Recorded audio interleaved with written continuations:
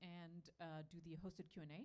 So as always, you can go on Slido. I will pop that link in Discord as well, uh, and we'll have the QR code that comes up, and you can um, add questions from now uh, as the speakers talk, and then uh, they will kick in uh, after the talks.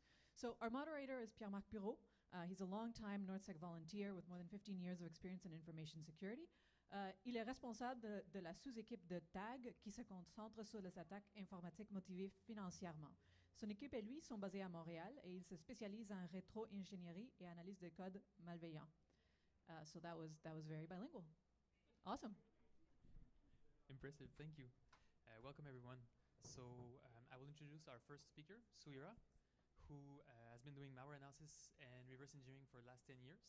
In addition to that, she's also volunteering in her community, both participating in Cyber Aegis and Black Hoodie. So welcome, and uh,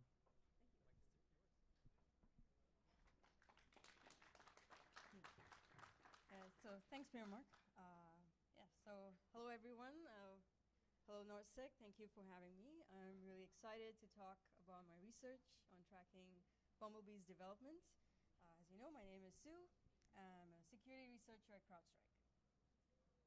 So our talk today, we're going to look at different timelines on the development of different Bumblebee components um, though it may not be apparent right now, what we'll notice is that the developers, they like to focus on different EDR evasion techniques, some of which are worth mentioning. So we'll talk about those as well. And then finally at the end, we'll draw a conclusion about what these timelines can teach us about the, the developers and how they approach uh, developing a malware. I do want to note that CrowdStrike's name for the malware, as seen in the intelligence reporting, is called Shindig, but I will continue to use uh, Bumblebee throughout this talk. So before we're going to look at dev timelines, we're going to first get a really quick history about Bumblebee. So quick, uh, just a quick chronology timeline here. So how did it all start? So it was first reported in March 2022 by the Google TAG team. Uh, the researchers, they observed uh, this uh, new loader being used by affiliates who were previously associated with Conti. Um, and that's also how they gave it its name. The string Bumblebee was seen in the user agent header when it made requests to the server.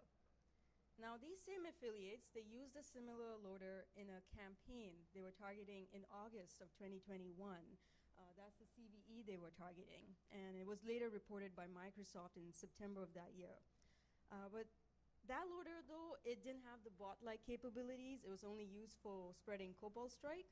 So when we're looking at our timelines, we are going to focus on Bumblebee when it started off as a bot.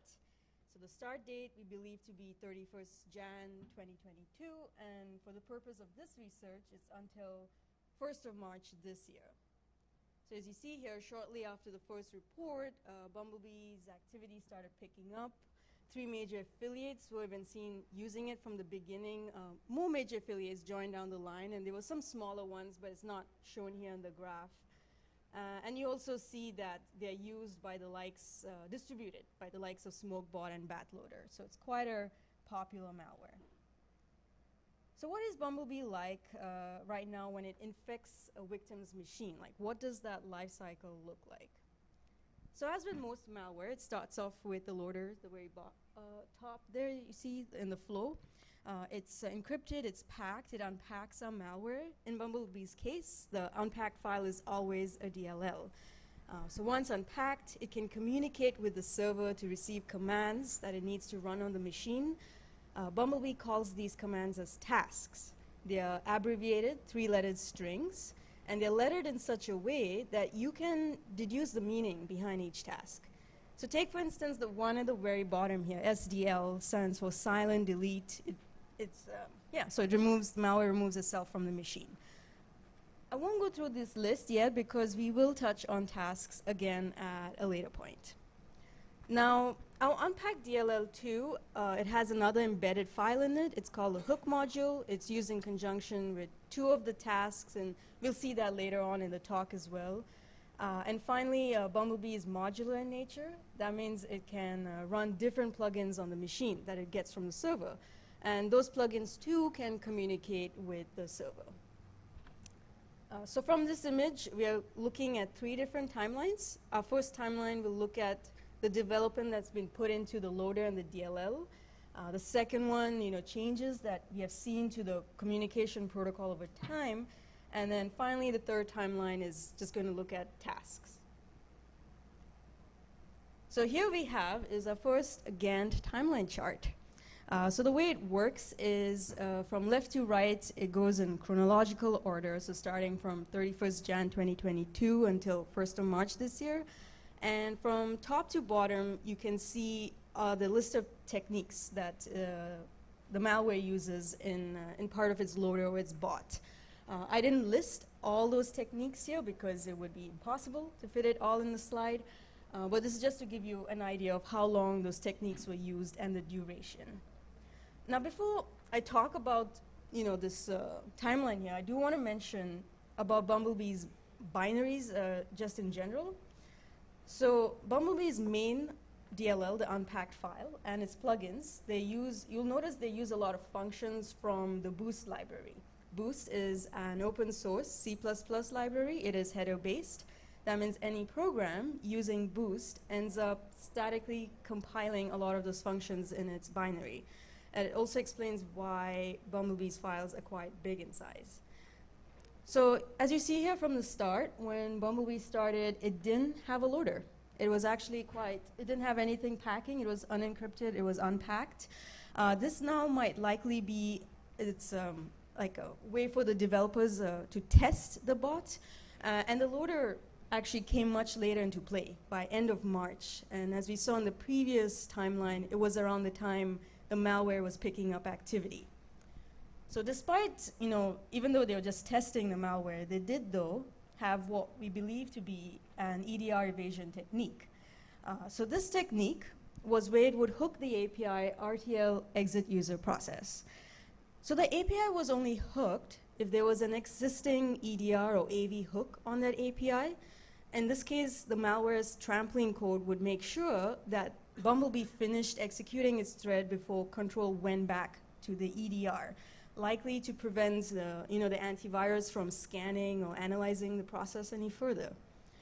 They did, though, swap this technique for another EDR evasion called thread execution hijacking by end of June 2022. Um, I think, yeah. Uh, but in my opinion, a much better EDR evasion. Uh, we'll see why in a later slide. Now, when the loader was introduced, it wasn't only like used for encrypting a packer, uh, I mean a DLL, it too had an EDR evasion. It's called remote library injection, and that too we'll see again right after this slide. The developers as well, they played with a different form of a loader, uh, and, and in fact, it also gave them another EDR evasion. So they would use Powersploit's reflective DLL injection. And this was something they introduced after they came back from their first break. Uh, but now we see it more uh, when they came back from the second break, and it's more used in cases for SEO poisoning and malvertising. Finally, I want to touch on al-khaser. So al-khaser is this repository in GitHub. It contains all these different techniques, and one can use for doing anti-analysis checks on the machine. Uh, and Bumblebee uses almost all of those checks. And so they were using the al-khaser repo quite aggressively, like at the beginning of the malware's execution. And as you can see, like for a really long period of time. Uh, but then interestingly, they just dropped it like two weeks before going on their second break. It wasn't really clear why, uh, but then after coming back from their second break, they they int- reintroduced it, but in a completely different context. So we'll see that more when we look at the C2 communication. Now we have our first EDR evasion here. This is used by the loader. So the purpose of this technique is to actually masquerade Bumblebee's unpacked DLL to appear running as a legitimate DLL in memory. Uh, here you see is a screenshot of Process Explorer. You can see the active threads of Bumblebee's process. The one highlighted there, the active thread, it's pointing to this library called DIMS ROM. It's actually a Windows uh, system library of Windows. Now, it's in this case, it's not the system library that's running behind the scenes. It's actually Bumblebee.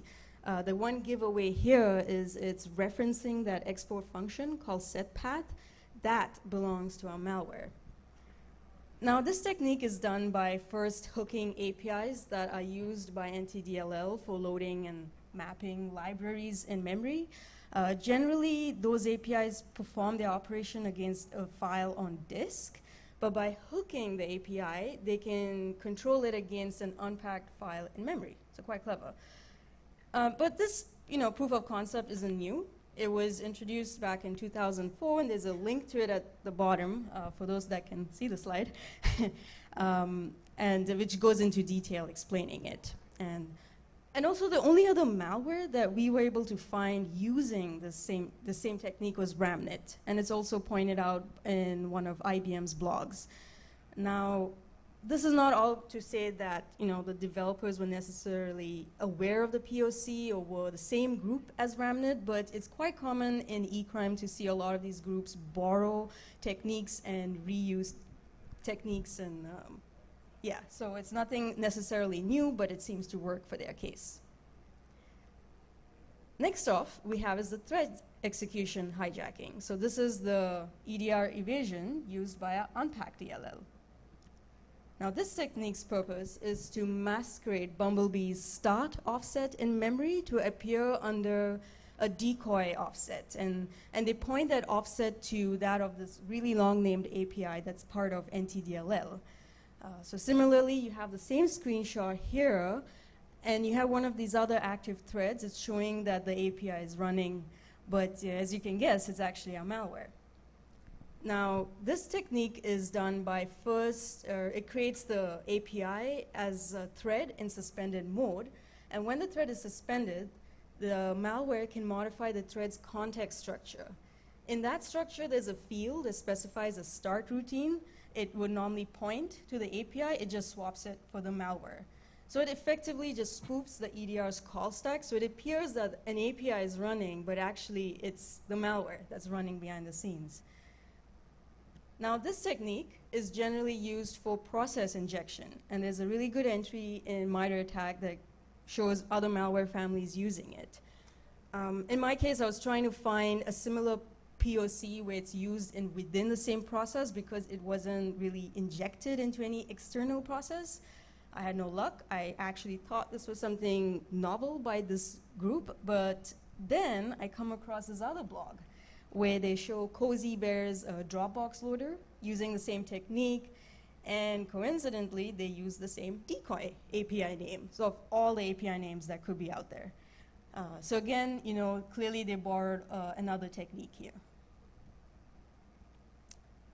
Now that we've learned about the loader and DLL, let's look at the C2 communication. Um, so before I show the timeline, I just want to explain what uh, Bumblebee's protocol is like right now. Uh, so the malware uses secure WebSockets. Uh, the messages it creates to the, for the server and receives from the server, they're in JSON format and they are RC4 encrypted, the key of which is embedded in our unpacked DLL file. Here's a description of what these messages look like. They're very truncated. It's not the full version, but just to give a sense of what it is. And I've labeled them as ping, hit, and task just to understand and the flow better as I explain it, but these are not the names given by the malware. Now, Bumblebee, uh, they have a beaconing style communication. So these messages you see, they get sent in a loop constantly. Uh, this is quite common in a lot of e-crime families. You see it also with BokBot and QakBot. And, uh, so the payload is not immediately delivered to the victim machine. It's delivered at an undetermined period of time. So that makes it harder for analysts like us to pull down any payload and also makes it just harder for the victim to realize that they were infected. Um, now, so let's explain what these messages mean. Uh, so now the whole point of Bumblebee's ping request is to send across the bot's ID to the server, and in turn from the server, it will get a session ID. That session ID is used in throughout the other request messages, and likely it's for the malware's back end to keep track of what messages get sent out. And finally, if there's any commands for the malware to execute, it'll arrive in the task type response message. And as you learn, task is the three-lettered command, and along with any payload for the malware to execute. Now, what about the hit request here in the middle? That is where al-khaser comes into play.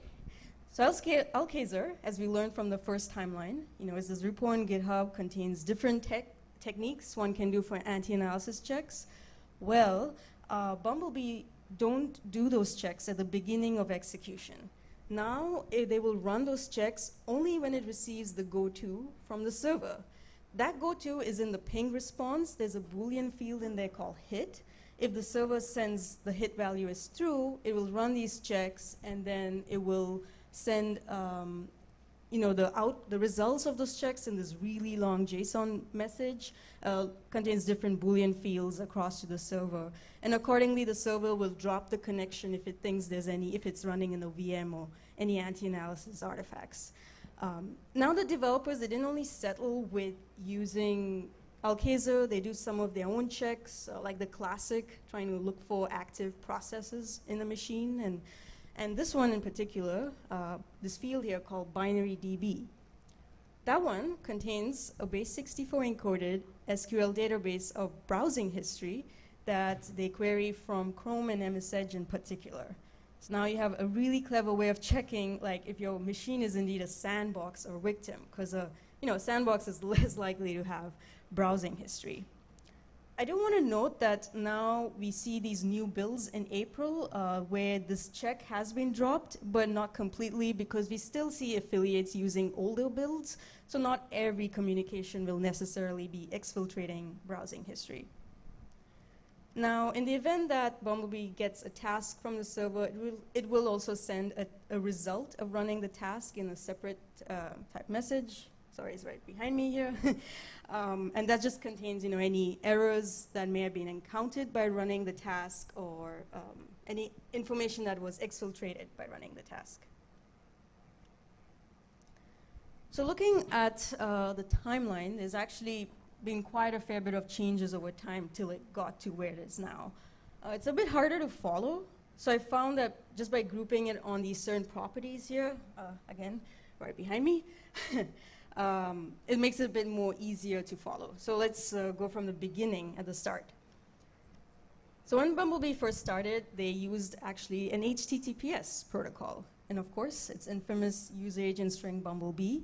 Uh, now the messages that was sent across, it was only the task message, so not the ping and the hit that we saw in the previous slide. Um, the client version number was one, you know, of course, first iteration, and the endpoint string that I made a request to was called gate.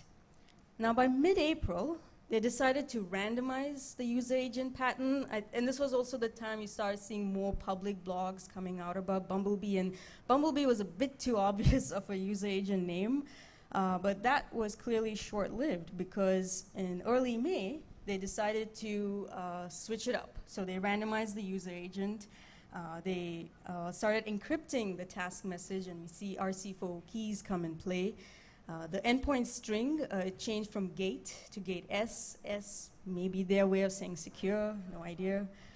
Um, and then, uh, okay, so now the next stage. Uh, so a month after they came from their first break, uh, they switched the protocol. This is now where they started using WebSockets. Uh, and we also see the introduction of the ping type message. Uh, the endpoint string, uh, it changed from gate S to gate W, and the client version number was 2. and now where we are at, and something they've introduced after their second break is, you know, we see the three messages, Uh, the only difference is the user agent string is this hard-coded value here, the bottom of the slide. Uh, it's not randomized anymore. And maybe it's like the attempt at trying to make traffic look a bit more legitimate. That brings us to the final one, tasks. Uh, so here on the left-hand side, uh, okay, the screen is like gone off here. but on the left-hand side, you can see is a description of what the three-letter tasks mean. And on the right-hand side is a really high-level overview on how they get executed by the malware. Now, our first four tasks are what are responsible for executing payloads the first three of which does uh, injects the payload into processes. So Bumblebee can either inject shellcodes or a DLL. And if it is uh, DLL, it could be either secondary payloads in the DLL format, so like Cobalt Strike, BokBot, or, or it could be DLLs, uh, oh, they're plugins, which are also in the DLL format. Uh, now, if it's injecting payloads, it uses the APCQ code injection technique, and it's also injected along with the hook module both of which have an EDR evasion role behind it, so I will expand on them um, at a later slide. Now, Bumblebee can execute uh, payloads just by itself, uh, no injection needed, that's the DEX task. Uh, GDT allows the malware to run commands uh, likely for reconnaissance. Uh, instead of invoking it directly through command.exe, it's passed to command.exe standard input output, uh, nothing malicious, it's actually a common programming technique, but it just prevents the user from getting notified that these commands are running in the background. Uh, the malware can install itself on the machine, aka create persistence. It uses uh, WMI to create those artifacts. And finally, SDL, silent delete. Uh, the malware can remove itself, uh, and it uses PowerShell to do that. And now we have our final timeline. Uh, so let's start off with the persistence task install, uh, ints. So now, when this task was used in the beginning, it didn't use WMI. It used your regular Windows API, like uh, create directory, you know, to create those uh, artifacts on the machine. Uh, the switch to WMI came about early May, and it was actually quite a clever shift. Because now it will create those persistence files uh, using command line strings. But uh, with WMI, uh, it could it would create the yeah would create a command.exe using WMI. A result of doing that ends up showing command.exe's process as a child process of the WMI parent process rather than of the malware's process. So effectively, they achieve parent PID spoofing. So quite clever and it's a bit more harder to monitor. Now this same task, uh, the way it is implemented to differed based on which loader is being used. So as we learn in the first timeline, you know, it's either uh, PowerSploit, so it starts off as a PowerShell file, or it could be an encrypted loader. So if it, if it was using PowerSploit, um, the malware just uses Windows DP API to encrypt the contents of the file. So this likely prevents antivirus from scanning the contents and you know, and being like, oh, whoa, this looks like PowerShell like commands and from blocking it. Uh, then accordingly, Bumblebee creates a task that will run a script which uses DP API to decrypt it before running. Now if the loader was you know, an executable to start off with, it was already encrypted, already packed, it didn't need DP API, and then you know, just used a living off the land binary, ODBC conf, to execute the DLL. Next off, we have is GDT, the one that can execute commands. Uh, they introduced this in early May as well. Uh, it, was a it was implemented pretty uh, in a simple manner. Uh, in fact, it was so simple that it matched exactly that with uh, MSDN's example on how to achieve the same technique. but it only allowed them to run one command at a time. so I wasn't aware that they were testing it, but then by end of May, they switched. They started using boost.asio library to implement the same technique. The only difference with using Boost was it allowed them to run multiple commands asynchronously. Um, so here you see is just a screenshot of what the pipe name gets created as a result of using boost.asio. So not malicious again, but quite useful for hunting. And also at the end of the name, you'll see concatenated to it is the PID. So it's the process that invoked this uh, technique to start off with. And then finally, let's touch on PLG, uh, the task. Uh, so PLG is what allowed, uh, which introduced plugins for the malware, yeah. And that was also introduced around the time they switched to WebSocket. So they made quite a big changes after their first break. Um, nothing too fancy, but they needed a way to get the plugins to communicate with the bots, and so they created an RPC endpoint we are named Pipes that allows for inter-process communication.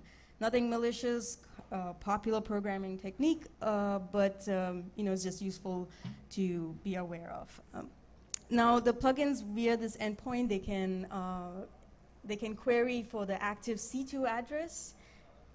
Five minutes? Okay. Okay. Uh, for the active C2 address and port that they need to connect to. Okay, so I'll try and go as quickly as I can. Okay. so let's talk on this injection technique that's used by tasks. So APC is actually getting quite popular uh, among malware authors, and there's a MITRE ATT&CK at the bottom of the slide if you can see it uh, that lists other families using it. Um, so why is this popular? So every thread in a process has an APC. It's a queue. Anything that's and anything that gets added to that queue is executed when the thread uh, thread enters an alertable state. So uh, Bumblebee, as you can tell, and most other malware families, they like to take advantage of this. So in Bumblebee's case, they'll just create the process in the suspended mode, inject the payload, and add an offset to the payload to the thread's APC queue. So then as the thread is, as the process is resumed, it ends up executing the code. Uh, and also they uh, modify the entry point of the process by adding instructions that call SleepEx in the loop because SleepEx helps to uh, set the thread into that state, into the alertable state. And in addition, these uh, processes are created with WMI, and as we've learned, achieves parent PID spoofing. Uh, next off is the hook module that's injected along with the DLLs. The, so the purpose of this is uh, module is to remove EDR hooks on APIs. Uh, it comes with a list of hard-coded APIs in the binary, and it looks through all those APIs. So it compares uh, those APIs instructions in memory to its instructions on this physical uh, file on disk because uh, AV is likely to hook on an API more in memory. It doesn't hook it in disk. Uh, so it compares it using a length disassembler, which uh, calculates the length of each instruction, and it also compares the prefix. Uh, and accordingly, you know, if the length or prefix is different, it means it's hooked, in which case it just copies over the bytes in the physical file to, the, to its instructions in memory, effectively removing the hook. Uh, finally, it uses remote library injection to load the payload uh, to appear running as a legitimate DLL. So this was the very same technique used by the loader as well. So I'll quickly expand on this, uh, the, the function that uses uh, uh, the, length disassembler function. It borrows a lot from this open source library called libsplice. I just wanted to point out it's quite popular among other families that have been seen.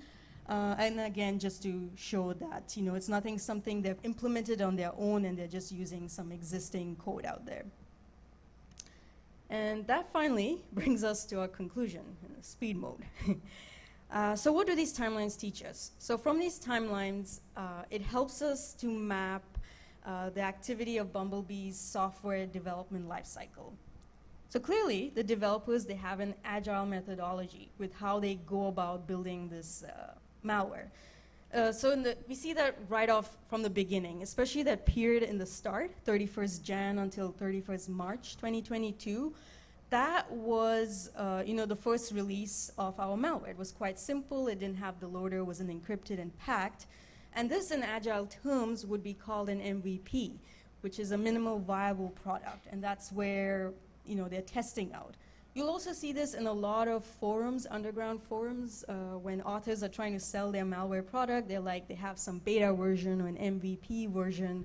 And it's kind of hilarious. It's kind of like they're crowdfunding for getting their malware project off the ground. Um, but not to say that we saw the same activity with Bumblebee, but just by observing the builds over time, you can see this, uh, you can imagine what that's like. And it's also clear because the second phase of uh, their release was what introduced EDR evasion.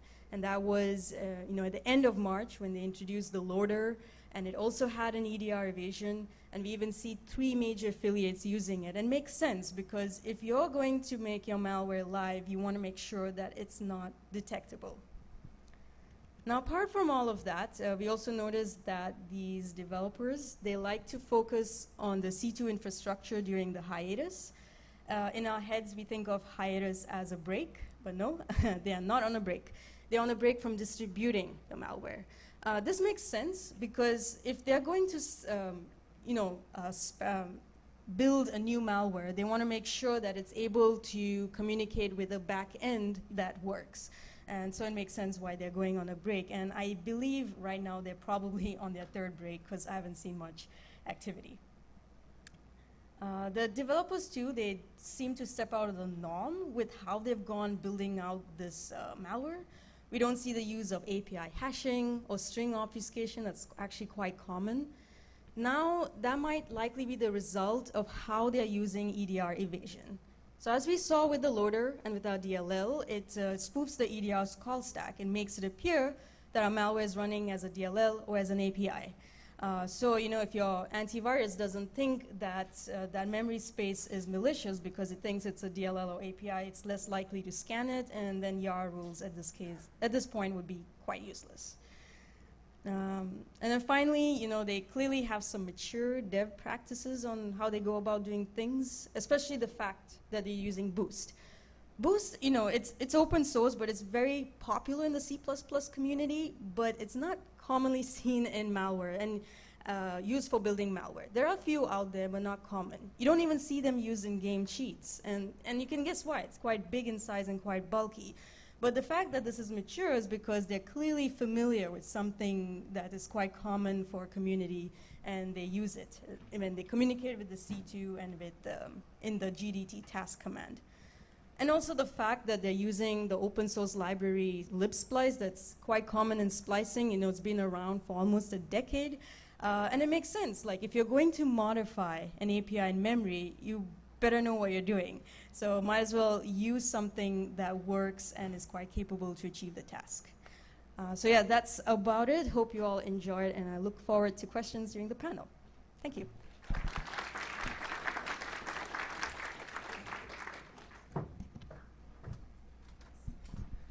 Thanks, everyone. We will start again in roughly five minutes. So if you want to change rooms or even move a bit forward in the room so that you leave uh, more space for others coming in. See you in five minutes.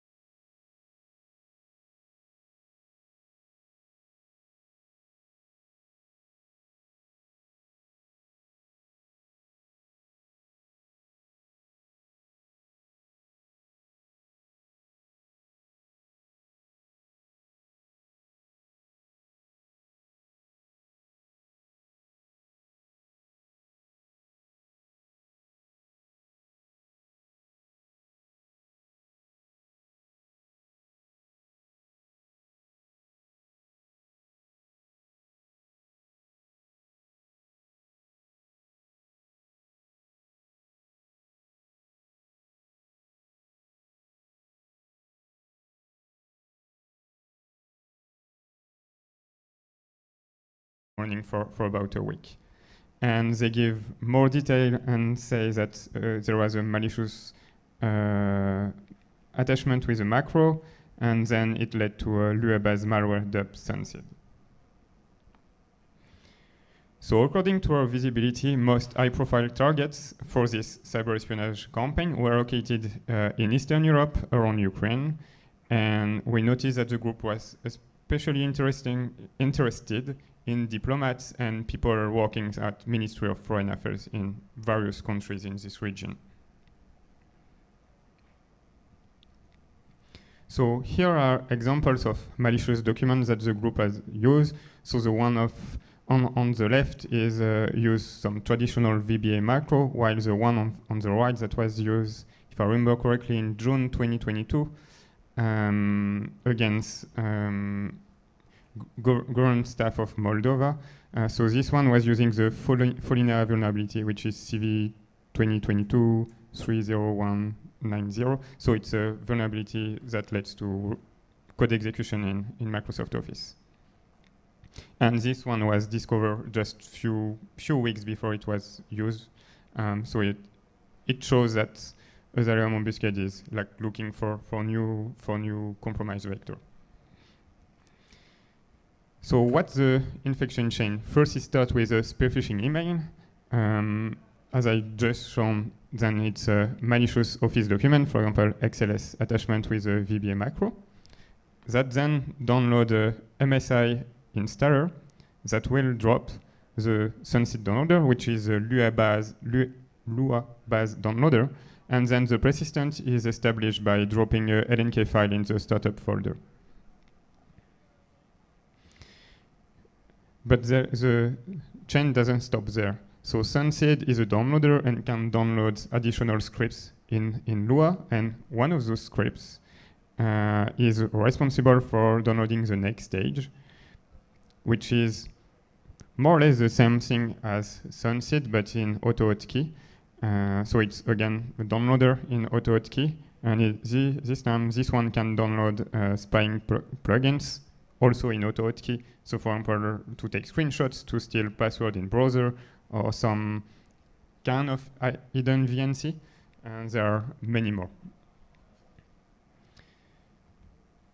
So this is Sunseed. It's a bit ugly, but uh, once you deobfuscate it um, with a bit of manual work, this is what you what you obtain. So it's quite simple. First, it takes the serial number of the C drive, and then it uh, sends a HTTP uh, GET request to the CNC server.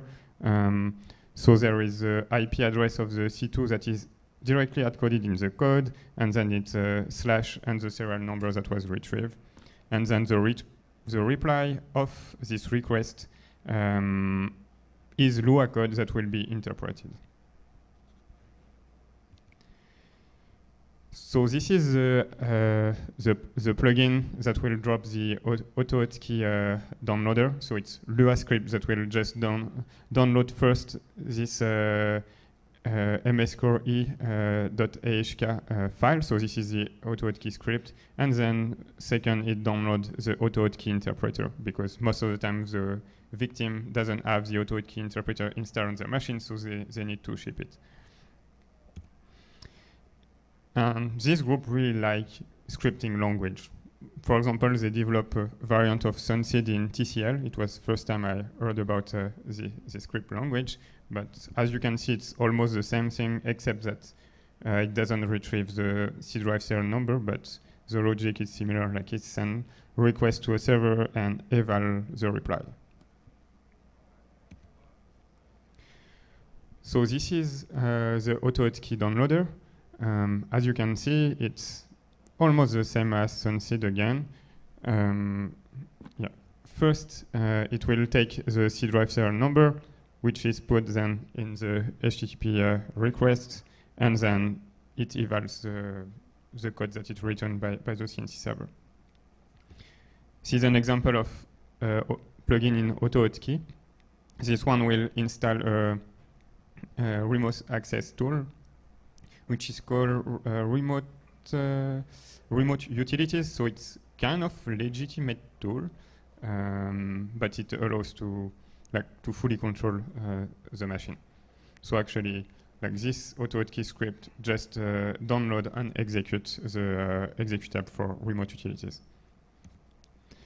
This is the full list of plugins that is available to AHKBot. So I won't describe every, every single of them, uh, but maybe just, just a few. So there is the desk screen plugin to take a screenshot, desk screen on, desk screen off is to take screenshot in loop. Um, then we have this HVNC. So HVNC stands for hidden VNC, but actually in this case it's not really uh, it doesn't use the VNC protocol. It's just a headless uh, Chrome browser that can be controlled remotely.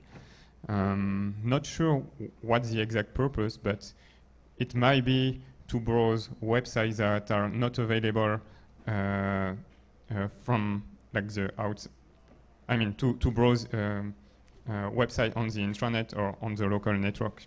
Uh, since they don't have any proxy, uh, maybe it's like their way of proxying, proxying traffic. There is a keylogger, uh, pretty simple, uh, browser password stealer, and the um, root server on root server of plugins that I just talked earlier. So it's quite typical, uh, like imp implant used to spy on on a machine. And there is this uh, plugin which is called delete cookies, which is interesting because for espionage, it's not very useful.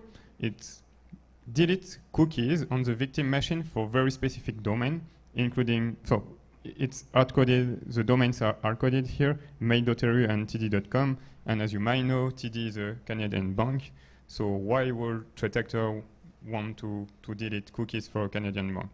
Um, so we think that this uh, this plugin is in, is aimed at deleting authentication cookies so that the victim has to re-authenticate uh, to their account, and then if they run the keylogger at the same time, they can grab credentials. But like this td.com doesn't make sense if you target uh, diplomats in Eastern Europe. So let's go back a bit in time and I found this uh, blog post by uh, Trend Micro, and that says that it's a group that targets US and Canadian bank customer. And if we scroll down a little bit, we have this uh, um, nice figure. And as you can see, the infection ch chain starts with a XLS file with v uh, VBA macro. Then we have a AutoHotkey downloader that can download additional scripts. So probably sounds quite familiar. And then we scroll down again, and there is an example of, uh, of a plugin. So this one is a browser password stealer. And if we compare to uh, the plugin called passwords that we, that, that we found in our espionage campaign, it's actually exactly the same thing. So it seems that the toolkit used in this Trend Micro article from 2020 is the same that was used to target uh, government staff uh, last year. So is it a crimeware group that switched to espionage during the war? Actually not, because uh, we, we, we dug into older campaign and we found, we found that since 2020, Asylum Ambuscade have been targeting uh, government officials and people working in state-owned companies, uh, mostly in Central Asia and also Armenia. So it means that they have been doing uh, cybercrime and cyber espionage since the beginning of their operation. Yeah, so uh, I answer to, to the question a bit early, but uh, yes, they do cybercrime and cyber espionage we also noticed that, so at the beginning of last year, they were mostly doing cyber espionage, but then starting October 2022, we have started to, to see more and more cybercrime campaigns. Um, we, we found around uh, a bit more than 4,000 victims uh, since the beginning of uh, 2022, and as you can see, most of them are located in the US, Canada, uh, and also a bit in, in Europe, as you can see, Germany. Uh, but what is interesting is that there are also quite few victims in Russia. Yeah, so we counted more than 4,500 victims since uh, January last year. And interestingly, there is a big spike of infection uh, almost uh, once a month. Uh, so these are the the latest one we observed wa was in early March. I didn't observe anything like another campaign since that time, but maybe they completely changed the toolkit. I'm not sure. And most victims for cybercrime campaigns are cryptocurrency traders and also small and medium businesses. I don't think they are specifically targeting like anyone, um, just random uh, small businesses in US and Canada. So how is the uh, um, malware delivery for the cybercrime campaigns? So they mostly use a traffic direction system uh, to redirect targets to malicious pages. Unfortunately, in our telemetry, uh, we did not observe how people landed on the first node of the TDS, but open source reporting suggests that the attackers are sending, sending phishing emails with links or PDF documents uh, with links to these first nodes of the TDS. And it's also possible that visitors from compromised websites are redirected to this TDS. So it's an example of uh, a, a, chain for this TDS that I found on urlscan.io. So the uh, target will first visit the, the website localkitchencodes.com. Um, then they will be redirected to a, a second domain, uh, which is a bit hard to pronounce, so I won't do it. And then there is a third redirection to uh, techfosolutions.com. And on this one, there is a delivery of uh, malicious JavaScript files. In that case, it was named document 1 December some random number.js. And it's almost every time the same pattern for, for the uh, uh, malicious JavaScript. So it's always like document or notice or something like that. And then the date of the campaign and then some random number. In some other cases, there are also fake, uh, so people are redirected from the TDS to fake uh, Zoom pages. And then from those Zoom pages, uh, if you click download, then you'll also get a malicious JavaScript file. And there are also uh, some for uh, TeamViewer. As you can see, there is some typo, new Verizon, and I think it's written, uh, it's actually, it's not Team uh, in the title, it's 2V, if I remember correctly. Um, so this is a, another chain that, that we found with uh, like nakodamachine.com is part of this TDS. It redirected to this uh, documented.js um, uh, malicious script, and then it downloaded AHK bot. So this is clearly like part of the Asylum Ambuscade operation. Uh, but if we look for this uh, domain on uh, on VirusTotal, for example, uh, we can see that the, the same domain was used to, to deliver like a different like MSI file with jobs, actually a PowerShell script. And this PowerShell script will reach out to download-cdn.com.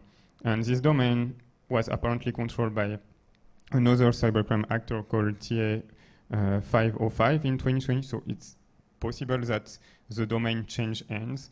But uh, in any case, like this uh, PowerShell downloader, it's actually not part of Asylum Ambuscade operation. So uh, what it means is that the TDS is not exclusive, exclusive to Asylum Ambuscade. Uh, so it was probably used by TA505. We've also seen some QBot distribution for, for from it. So it's probably some paid underground services that that the group is using to distribute and install the malware. They are probably like paying someone else to, to do some yeah, to distribute uh, their tools. Uh, there was also some uh, mention of uh, Google Ads, uh, malicious Google Ads that redirect to this to those malicious websites. So we did not really observe it in our telemetry, but there is a blog post on the Sense uh, website, and you can see like this is fake ads for TeamViewer, and actually it redirects to one of the um, uh, fake pages that I mentioned just a few slides before. Um, so in, in any case, either like the TDS or the malicious Google Ads, they lead to uh, a JavaScript file, which is a bit obfuscated. Um, but we can like reconstruct the URL and actually it will call install product to download a MSI to, to download and install MSI from, from this URL. So probably uh, Obfuscate was providing this MSI and even the JavaScript was controlled by same group as, as the TDS. If the target executes the, the JS script, it downloads the MSI package that drops this VBS downloader. Uh, and again, it's similar to uh, Sunseed or AHKBot. You can see that it gets the C drive serial number and then does a HTTP GET request. In this case, it will not download uh, VBS script, but uh, download and install uh, another MSI package. Um, this MSI package can contain, for example, AHKBot or a new Python screenshotter. And also in the latest campaigns, we have seen a few more uh, plugins for, for the AutoHotkey downloader. So this is a Python screenshotter. It's it's quite simple. Like it just uh, take a screenshot and exfiltrate it. Um, also, the feeling how it's it's written, it's always similar to in every scripting language. So I believe like one person develops all, all these tools in all those uh, in all those different languages. There is also uh, so if you remember, there was this uh, more or less uh, VNC, but now they have something that they call HCMD, and actually it's a reverse shell uh, written in Node.js. Why not? Uh, and um, yeah, uh, actually there are a few functions, but the goal is just to, to execute uh, some some command with cmd.exe and send the result back to, to the CNC server. And there is a new password stealer. Um, it will, uh, and what is interesting is at the end, so they download and execute uh, another like executable, which is downloaded just here. And what is interesting, there is some comment in Russian saying that here it is not known what the function should return. So it's probably reassuring to see that they don't really know what, what they're doing. And the last one that they have added, probably because they started to really uh, uh, compromise more and more uh, like companies, is that this script to, to gather information about the Active Directory. Um, so they execute a, a, bunch of, of commands like nltest or netgroup domain computers slash domain, etc. And then again, they exfiltrate to, like this part is very similar in, in all plugins. And what comes after? Of course, Cobalt Strike.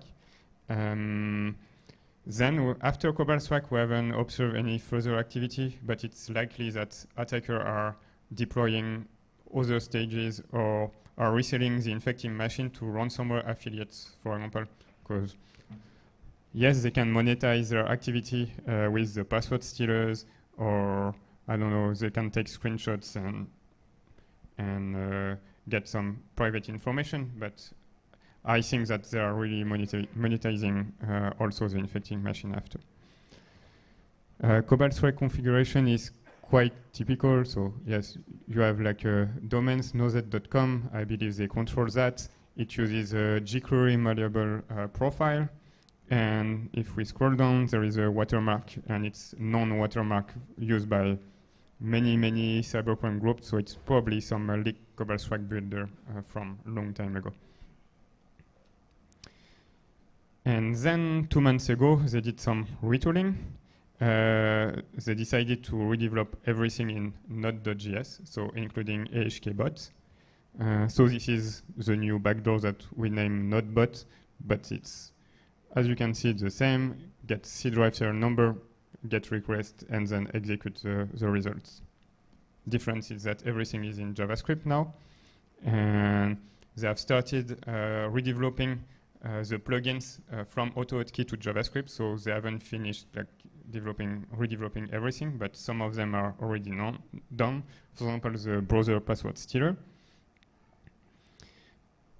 Um, or the screenshotter. Uh, this one actually it, it, downloads another tool which is called IrfanView. It's some tools to to do to to edit pictures, but actually it can be used in command line to to take screenshots. Um, some other experimentations that we have observed, like in March, is that they have started playing with uh, LNK file. Um, so since Microsoft disabled uh, by default uh, uh, macro downloaded from the internet, LNK file have, have become some uh, very very popular uh, last year among like all threat actors, and Asylum Ambuscade is no exception. And they're also starting to play with uh, .pub file, which are like just uh, uh, um, Office file for, for Microsoft Publisher. So as we can see here, for example, uh, one of the uh, operator uh, uploaded a bunch of file on VirusTotal probably in order to, to try to, to bypass detection. So we can see at the beginning there was one detection, then a few minutes after five detection, and finally zero detection uh, after 27 minutes. Some words about the attribution. Uh, so there was again another blog post by Proofpoint which was published early February. And so what they, they have named the group here TA866, but actually it's the cybercrime part that I was describing. So now the question is, uh, between espionage and cybercrime clusters, is it the same group or is it some malware kit uh, for sale? Um, so we think it's, it's the same group because the level of activity is, is quite low. We, we counted like a bit more than 4,000 victims. It can sound high, but if the, if the toolkit was shared on multiple cybercrime groups, it will be way higher. And second, the network infrastructure is very similar for all cyber espionage and cybercrime campaigns. Uh, for example, CNC servers are usually located at same uh, hosting providers, so it's likely that a single person manage all this infrastructure.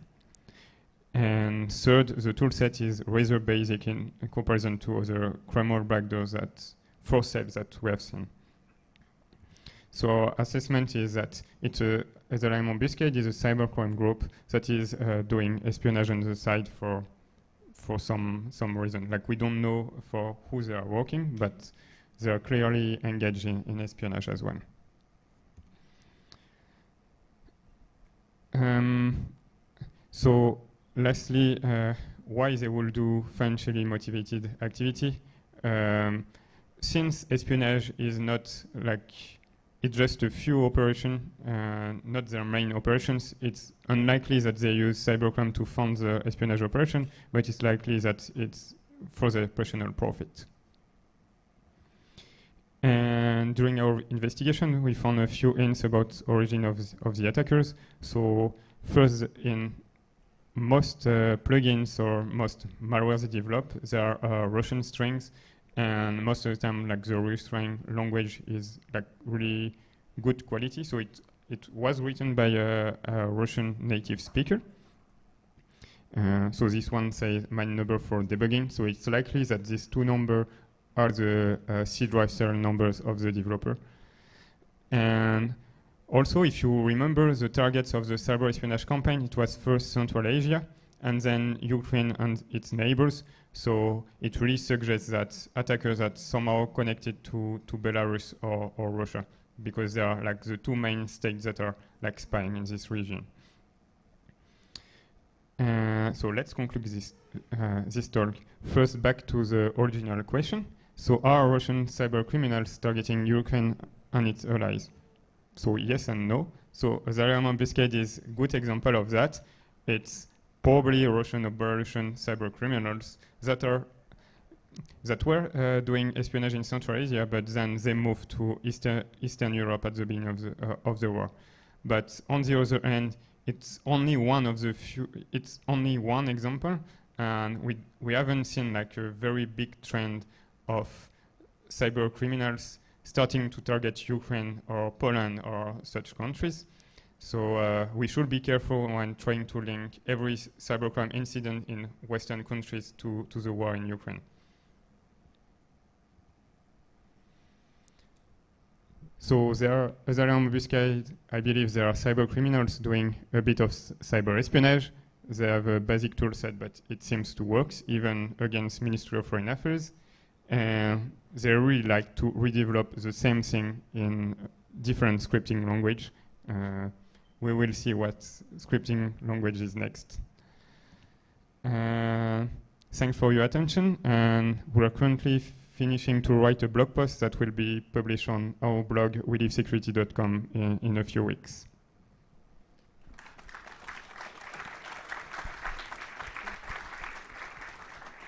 Thanks, everyone. Thanks for attending. Uh, we are right on time. So what we will do is that uh, before taking any of your questions, we will re uh, we will bring some chairs on stage and we'll have a panel with Sue and Mathieu. So if you have questions, please uh, ask them. You can ask them over Silo as well. And we will start in a bit less than 15 minutes. So please stay tuned. Thank you again.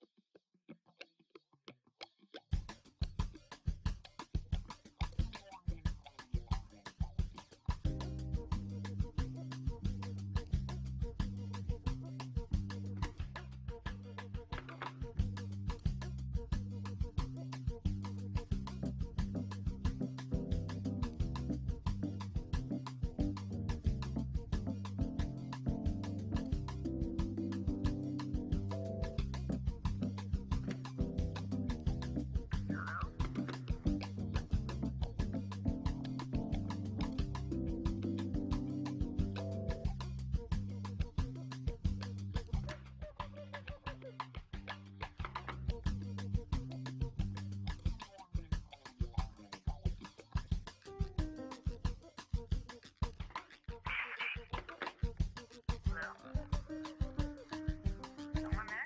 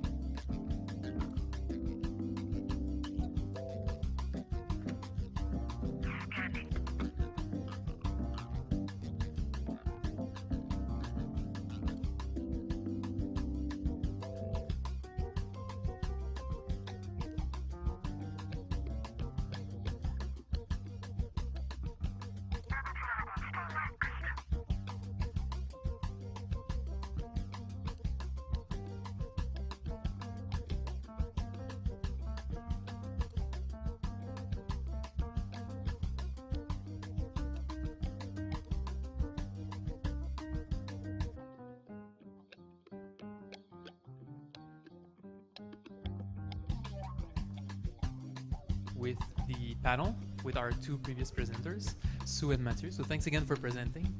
Um, I really enjoyed the presentations. While the topic were completely different, I think there are many things that were similar. Uh, using reverse engineering and technical analysis to understand how attackers or malicious actors are behaving, how they're evolving over time. Um, I think it was also interesting to note that it is likely that both actors are operating from the same region of the world, um, while at the same time the motivations are different. So I think this was really good. Um, the first question I have for you, um, actually, we have a couple questions from the audience already. Uh, thank you. If you have more, uh, we will have microphones. You can ask them, or you can ask them on Slido as well. Um, so that's it. Please, uh, yeah, please send your questions if you have them. But before that, I'll start with two of my own questions, just to warm you up, uh, warm you up, and get you accustomed to the uh, microphones. Um, yeah. So my first question, and I'll start with you, Sue. Um, if you had unlimited resources and you had to do that research again. In unlimited resources in the sense of both money, but also reverse engineers, contacts in the government. Is there anything you do different or you, you wish you had the resources to do something more? Um, good question. um, so, in, so the thing with the, you know, a lot of e-crime malwares that I track at work, um, it's, it's, it's very like unlike APT, you know, it's a, it's a lot more widespread. You see a lot of them. Uh, what, and, and is also something I touched on the slide briefly, that you know what a lot of these malware use a beaconing style communication. So that makes it a lot more harder to pull down payloads that they're trying to spread. So if money wasn't an issue, it would be actually quite fun to try and infect as many machines as we can and uh, track all these different affiliates and how they, and what payloads they choose to distribute because I think that's one thing that's missing in a lot of our industry. So we do track some affiliates, but not all of them. It's impossible. Uh, like you can emulate up to a certain point, but then it comes to a point where these affiliates are installing uh, tooling on the victim machine that requires hands-on keyboard activity. So at that point, emulation is useless, and you do need a machine. And, and if they don't find anything interesting on a machine, uh, they're less likely to you know, load anything. So yeah, money not an issue. In fact, there's many computers out there. That's a really good answer. What about you, Mathieu? Yeah, I think that uh, your idea about having like full environment to see how actors are behaving will be a pretty good idea, even for APTs. Sometimes uh, I would like to to have that like big Windows domain, like a fake one with a machine with interesting documents, etc., just to see what, what they are doing. Um, this is a good point. Um, and specifically for my for my research, I didn't have much time to, to focus on the first part, the the uh, traffic direction system. Um, like if I had more resources, I will definitely look at that to try to find out how these threat actors uh, where they are selling uh, their services, uh, exactly what other threat actors are are using it, and trying to to, to separate the, the chain among the, the different threat actors. Um, yeah, I think that's, that's what's missing in the research. Cool, thanks. And by the way, I didn't want to highlight anything that was missing, just more. We always have limited resources and limited uh, time, so um, cool one thing that I'm noticing in different research teams looking at cybercrime is that um, there is lots of similarities with tracking APT actors, but sometimes there are some things that are harder, in my opinion. One of them is to is how we organize multiple researchers tracking cybercrime. In APT, I think many research teams will split between Russian actors, Iranian actors, Chinese actors, maybe North Korea. How do you think teams doing cybercrime research should be structured, or do you have good experience in your own organizations that you'd like to share? I guess I'll go with that since it's cybercrime. Uh, that's a good point. Uh, that's true. I mean, a lot. Even I believe CrowdStrike has a similar structure like that, where APT focus is by country and e-crime is well everything. you have, uh, like in my case, I work on certain families, and there's some other analysts, they work on it by family basis. But we are starting to notice things like tooling that is shared across these groups, and uh, and then th- this does make it a lot more harder. Uh, I mean, as far as it's concerned, I mean, we could place all these, most of these malware groups under, say, one country in particular, because that's where they tend to arrive. But of course, you do see malware coming from other country. Um, I don't think there's any clear solution, but the key thing is to distinguish these toolings as much as possible, and then uh, you have, uh, so from a low-level perspective, and then from a high-level perspective, you have threat intelligence analysts come into play and try and make that connection with how this tooling is used across groups. So I don't think settling with countries is enough because it's clearly not targeted, and it, this is a, whole different financial sort of uh, ball game here. Yeah. Yeah, I think the problem with cybercrime is that it's a whole ecosystem, so you cannot really you can make clusters, but everything is connected, so you cannot like work uh, on on something and it's not separate from everything. For APTs, for example, you can separate by countries because APTs they don't collaborate with with each other. Um, like if you track Russian APTs, they will never, never collaborate uh, with uh, Chinese APTs or North, North Korean actors. Or it, if you work on some APT, you can just work on that, and it has no relation with anything else. So it's it's quite easy to separate the job.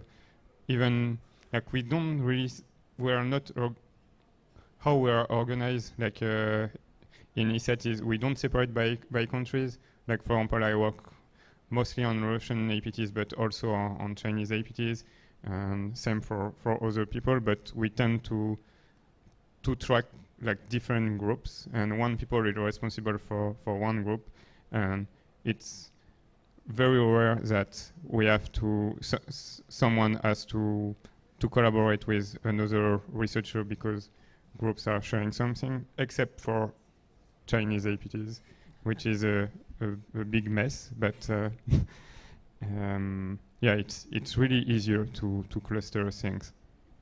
Like for example, when I did the Asylum Ambuscade uh, research, it was really hard to understand like the the infection chain and the traffic direction system and all this stuff because there are so many different threat actors using like same like same TDS, so it's it gets messy quite easy.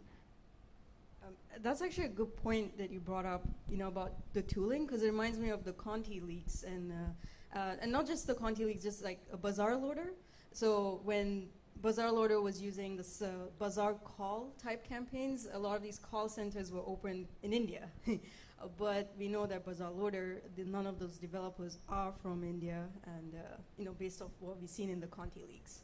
So clearly, there's a lot of uh, international collaboration here, and it's a lot more, um, yeah, it's a lot more organized than we thought, you know, before. Uh, another good example I have with eCrime is, uh, so for BokBot, or publicly it's called IcedID, they use this uh, hidden VNC tool. You know, um, Matthew talked about like hidden VNCs. So they've been using this tool since 2019, but now we're seeing that same tool being distributed by Bumblebee. Uh, we even see uh, like a QakBot using a similar tool, and it's it's a bit. It was a bit like curious. It's like, is this just another group building this tool? Like, where are they getting their hands on this tool from? So clearly, there's a lot of organization happening here, uh, something that we're not privy to. Thanks. Um, I would like to, to ask uh, Lily, uh, you had a question, and uh, if that's okay with you, I'd like to, you to ask it live because I think you will deliver it better than myself.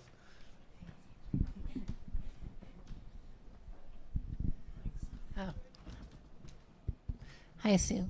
Um, Yep. So, a question in regards to Bumblebee. Um, so, with the API unhooking module in that particular malware, when it um, detects that um, an API is hooked in memory, so it overwrites that with the bytes on disk. And my question is, what happens if there's a memory pointer at the beginning of that particular API on disk and, for example, in memory. Um, would it just write the raw bytes from disk and that memory pointer would be invalid and potentially cause any type of crash, do you figure? What are your thoughts there? Cool. Thanks, Lily, for the question. Um, so yeah, so this was, uh, th- I think it was a slide I just quickly went by. It was a slide that talked about the libsplice, the splicing library that does uh, the unhooking. Uh, so essentially, when it's trying to remove any hooks on APIs, it's copying over bytes from the instructions in its physical file. So Lily pointed out the fact that you know you might have instructions in memory where it's referencing addresses, and that could be a potential problem because does this malware take care of rebasing those addresses? Uh, long story short, no, they don't. uh, they just they don't even do anything different. They just completely use this library as is. Uh, if, thing about this library, it is almost a decade old, so it's not something new, not something that was aware of rebasing. So they just copied and, and it ran like it. There was no problem. So uh, maybe they tested it, maybe not. There's no clear idea why, um, but it seems to work. Uh, but uh, I believe like also like Lily's done research where we have seen like other families now starting to look and implement those checks for rebasing. So you know a lot of these groups are probably becoming aware of the faults behind some of these uh, hooking libraries. Yeah, thank you. Thanks again for your question. Is there any other question in the audience? Uh, we are now ready to take some questions. Um, yes, please go ahead, and if that's okay with you, I'll try to rephrase your question for the ones uh, listening online.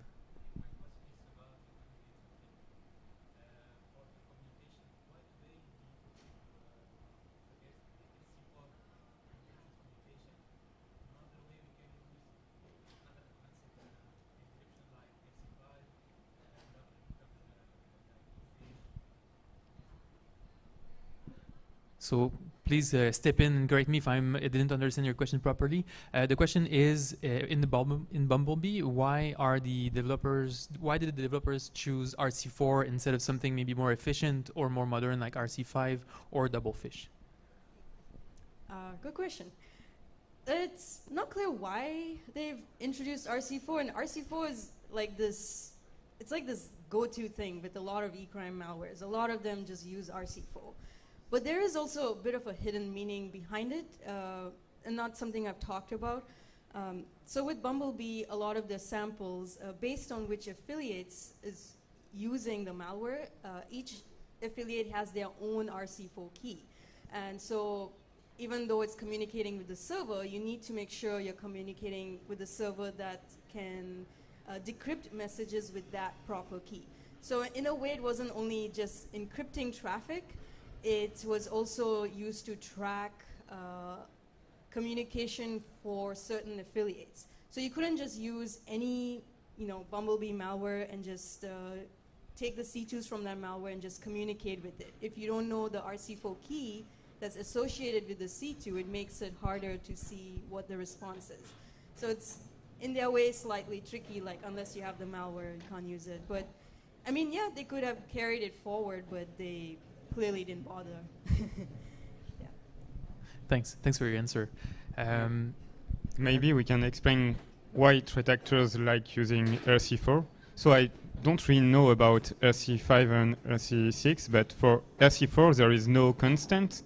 So if you compare to AES, for example, in RC4 there is no constant, so it's harder to to detect RC4 with like a, uh, a byte patterns. You'll need to to check like the the decompiler who have uh, or have a signature on some some uh, disassembly graph. So that's why threat actors are like using RC4. It's just hard to make a signature on it. Thanks. Uh, thanks for this, this explanation. Um, I'll go with one question we had online for you, Mathieu, which was, um, can you elaborate a bit on the, um, what does it mean that there was a watermark for the Cobalt Strike uh, sample that you described? So the watermark is a, a number that that is linked to uh, uh, to the license linked to the Cobalt Strike uh, builder. Uh, the problem is that first it's quite easy to change. If I remember correctly, it's just a number in a text file in in the root directory of like the Cobalt Strike instance. Um, but generally, threat actors don't care about uh, changing it. So it can still be useful to to cluster uh, uh, different uh, um, Cobalt, Cobalt Strike beacons. You extract the config and then you cluster by by watermark. The second problem is that there are a lot of uh, Cobalt Strike builders that have been leaked online. So you can find like Cobalt Strike builder of like previous versions, and a lot of threat actors are reusing those leaked builders, and that's why they are they they end up with the same watermark at the end. Thanks. I'll continue with uh, questions online. I, I like that everyone is able to vote and upvote them, so it helps me prioritize. Um, the next one I think is for you, Sue. And the question is Could you abuse the beaconing system in Bumblebee to affect the attacker uh, in order to, to infect the attacker uh, in order to unmask their identity? Uh, You seem to be expecting that question. I like it. well, uh, unfortunately, I don't have any good answer because, uh, uh, you know, part of my work is we do not attack back. so uh, it, it may be possible, but it's not something, uh, you know, we are allowed um, to pursue or look forward. And so I just really only monitor traffic. And I will, yeah, that's it. That's all I can answer to it. Awesome. Uh, I think the next one is for you, Mathieu. Uh, did you need to enable macros in Word and Excel and Microsoft Publisher files f- in order to get a successful infection? Probably yes, but to be honest, I just extracted the macro and didn't trying to didn't try to run the document.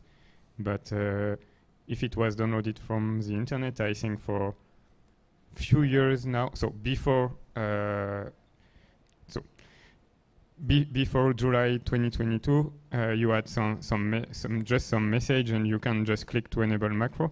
Uh, but now it's just not possible to run macro from the internet uh, if you have like up-to-date version of uh, of Microsoft Office. Thank you. Next one is Is crypto still very in fashion in the crime world or has hype died down like in the mainstream? And if so, which cryptocurrency? I guess cryptocurrency in this case. So maybe I'll start with you, Mathieu, because I think you did mention that some of the targets for your uh, for the group you're tracking were uh, looking at crypto uh, cryptocurrency. Yes, so we noticed that uh, attackers, they when they were collecting, like for example, uh, browsing histories or like doing like keylogging, they were um, uh, very interested in uh, taking uh, credentials to to logging pop to log in popular uh, uh, cryptocurrency ex- exchange, for example. So we haven't observed them stealing, really stealing those. Uh, those, those cryptocurrencies, but I guess if they are collecting wallet addresses, uh, logging password for crypto exchange, it's just not to to look at the number. Um, and w- what was the original question? Not sure I answer the question. I think you did answer the question. Uh, maybe the other part was: uh, Is there anything you can share about which crypto exchanges or which currencies were mostly targeted? Mo- mostly bit- Bitcoin, if I remember correctly, and like the exchanges, it was very random, so it, it mostly depend on what e- exchange the victim was using. Okay. Um, I could expand on that. So it's not with Bumblebee or anything. Uh, this is actually because I also been tracking some Mac OS malware, uh, a lot of stealers. Uh, so lately we've been seeing it's a kind of an interesting question because we've been seeing a lot of stealers that target gamers and uh, like social engineer gamers through Twitter and to get them to install stealers on their machine, which end of the day just steals wallets and an extensive list of wallets, and it's all related to the metaverse because uh, some of these games they use uh, cryptocurrency uh, exchanges for I know trading and stuff. So they look at like um, I, I, yeah, Binance, uh, Bitcoin. There was a list, and I don't know the entire list off my head, but uh, I think it's more common in the gaming world. Yeah, for sure. Great, thanks for the additional additional context. This is uh, really appreciated. Um, the next question is something we've already touched on, but I will I will go through it again, and then please feel free to chime in if there's something else you'd like to add. How different is it in uh, studying geopolitically motivated versus uh, the ones created by criminals? Is there a significant difference, or pretty much the same? I'll start by summarizing what we what I remember from what we've discussed so far. Um, I think we've discussed that state-sponsored attackers are going to be mostly not sharing their tools or techniques. They have their own things, and they, the Chinese and the Russians rarely exchange tools. While for the cybercrime, we see a lot more of exchange and common pieces being used. Anything else that you see that kind of stands out as geopolitical versus criminal malware?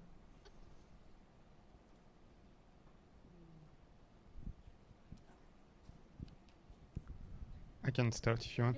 Um, maybe how malware are developed or prote protected. Uh, like generally, crimeware malware are very well protected. There are like big packers that which are very annoying to to reverse. Um, they do a lot of checks like to see if they are running in some virtual machine or sandbox or stuff like that. On the contrary, APT malware generally they are not packed. Uh, very little obfuscated. Like from time to time, like strings are obfuscated, but that's pretty much it. Uh, so of course, from time to time, there is some very big changes that are very hard to understand, but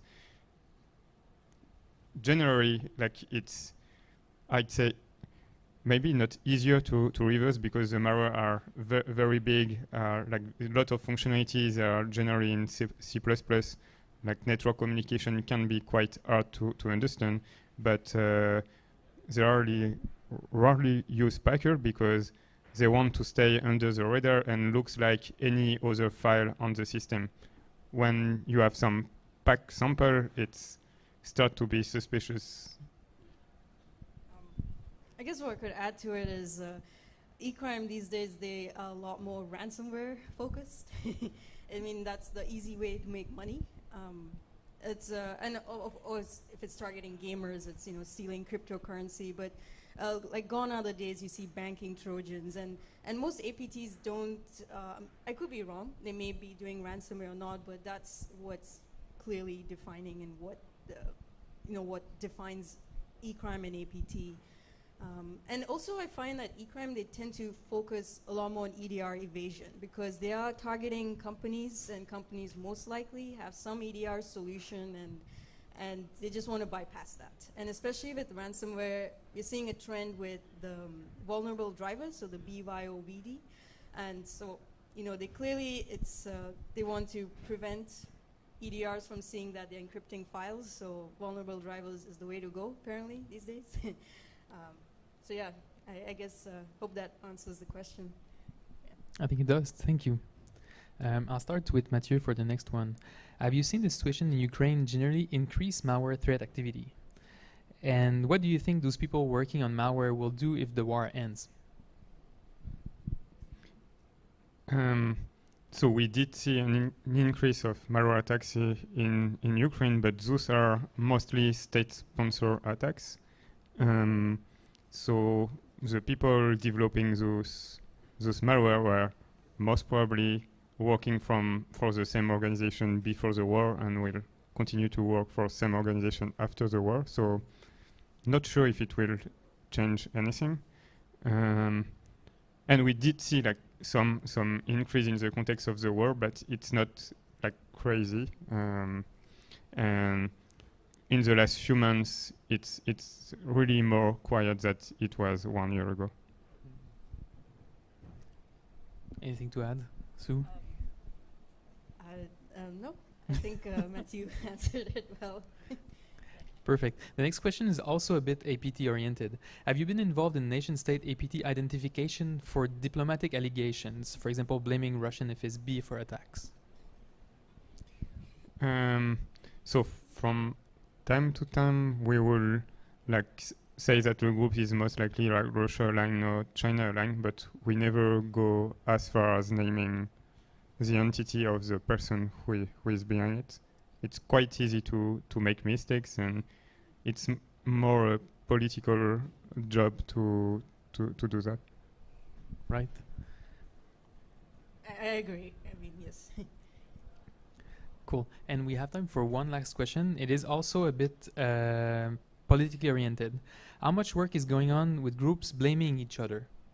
Uh, for example, Anonymous Sudan uh, recently was discovered to be actually tied to Russian APT. Is are there other examples?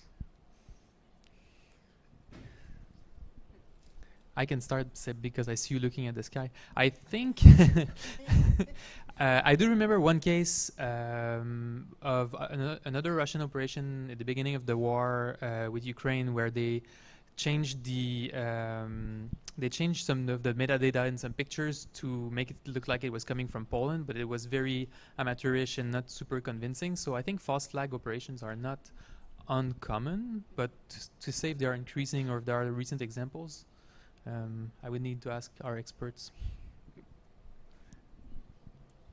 Um, in e-crime, well, with group blaming, you you normally see a lot of within the group. A lot of them, uh, sometimes there can be tensions. I think that was quite clear with Conti leaks when something political comes up, and uh, but of course it was a Ukrainian researcher that released the logs, but. Uh, um, you don't see it too much. You mostly see it maybe among ransomware groups, like especially if there was a ransomware that targeted a hospital and then they immediately try to post on like the data leak site that it's not them, it's someone else, and so it's oftentimes that that case because they do not want to be liable and they are you know actually worried. Uh, but otherwise, like it's hard to. We haven't seen it elsewhere, like in e-crime. Um, ab- about APT, I'm not sure. Uh, maybe there's a lot more of that happening in that end. I don't think there are a lot of them. Another example was uh, the one in Korea during the Winter Olympics. Uh, I don't remember exactly the details, but there was something with uh, Rich headers from like North Korean group, and actually it was like Sednit who was behind like the attack, like a Russia line group. Um, it's it's a bit old, so I don't remember exactly the details, but actually like this uh, group it make it look like it was some like North, Kor- North Korean online group that was behind the attack. But like it's it's not very common, or it's too good and we we don't we don't realize it. But I don't know. Um, okay, so something that came up in my mind. so what is you don't see this like immediately in campaigns, but you do see it in forums. You see a lot of uh, sometimes arguments. Sometimes when an author, like some group, has developed a malware and they're selling it to affiliates, the affiliates can sometimes backstab or do something that they're not meant to do. There's always rules among them that they allow affiliates to do, not do. Uh, so that is actually quite common in e-crime. And uh, so especially, again, with ransomware, they try to tell affiliates that because of you, uh, you're targeting hospitals, you're no longer part of the program. Uh, but so that's pretty common. Or sometimes you have affiliates that will buy a test build but then end up using it uh, their own way, and that, you know, quite uh, frankly upsets the developer, and then they just release it or they go into cahoots with someone else. But yeah, so it's a, as long as there's money, there's always something to be upset about. Uh, these are really good examples. Thank you. And we are at time, so thank you very much for your presentations, for everything you've shared, and then for joining this panel. Um, it's great having this discussion with you, and thanks to all of you for your questions.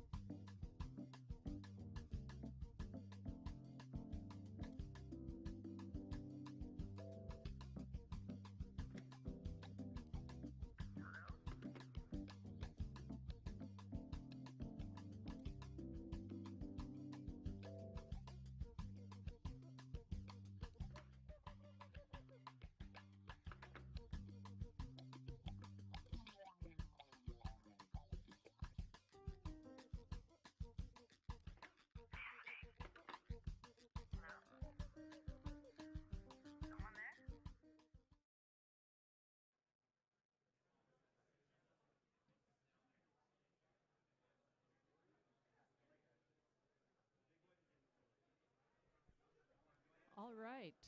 Um, we're going to get started. I'll let people wander in and speak slowly.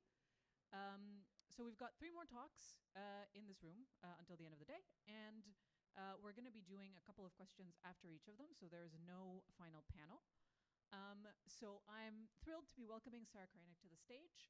Um, she's a longtime hacker, uh, and she spent the better part of 10 years as a software engineer with a keen interest in security engineering specifically.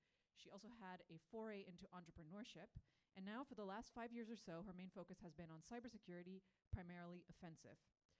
Her research interests inclu- include cryptography, malware, reverse engineering, and apparently cyber warfare. Sarah is currently working towards her CISSP ISSEP, and in the future, she hopes to finally get her master's. So, welcome to the stage. Really excited for your talk. Awesome. Thank you. Can I just go ahead? Roger. All right.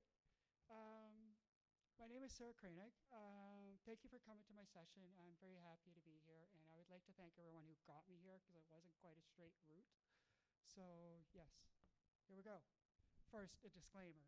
This was uh, needed. So, before I get started, I'm solely here on my own accord, and I do not speak or on behalf of my employer. I do not talk. I will not talk about my work or about my work or who I work for.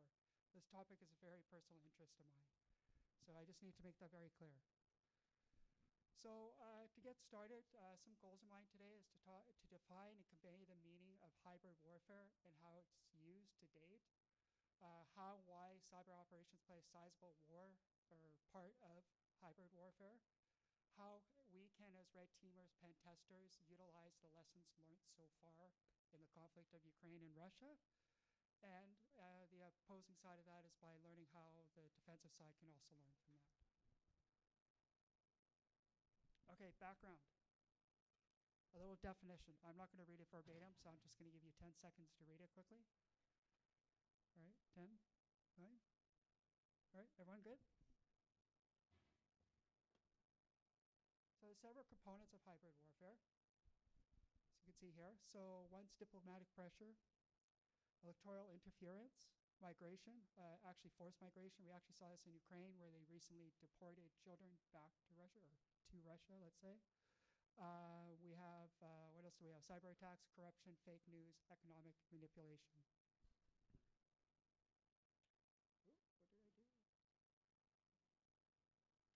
Oop, what did I do? Sorry. Oh, sorry.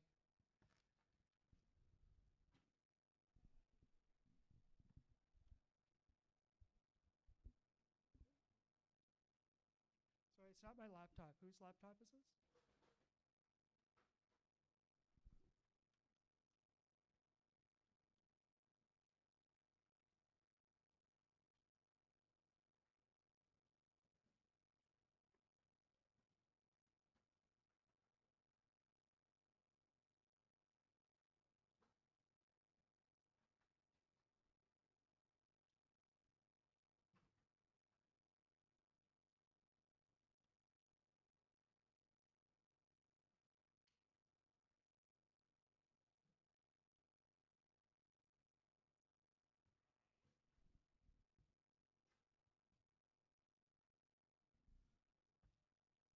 This happened quite recently. It's still unclear who uh, we can attribute to, but we can all figure out what it might mean. I'm not going to fill in the. I'll let you conclude what it'll be. Uh, either way, it conflates everything, and we get to the point where we confuse who's done what and why. Uh, we're going to watch a few clips. Uh, the first clip is um, a Russian official who's denying. I don't know if you know about Little Green Men, but they invaded Crimea quite recently, or when in 2014. Um, so this is the denial. Oh, of course, we don't have audio.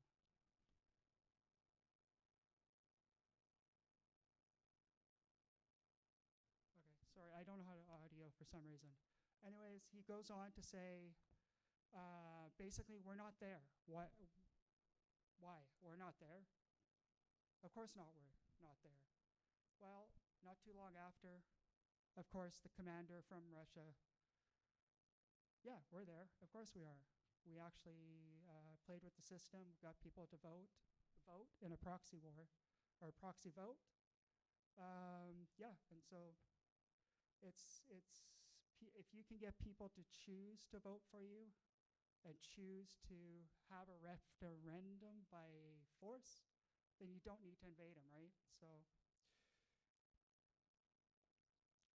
So here's a perfect example of plausible deniability. If one can get international community to believe the people voted for something themselves, aka a proxy vote, then there is no invasion, right? So you just you're invited. You voted you voted us for it to come.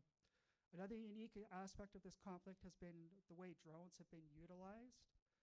Uh, more traditional usage of bombing and surveillance, but also uh, so-called kamikaze missions.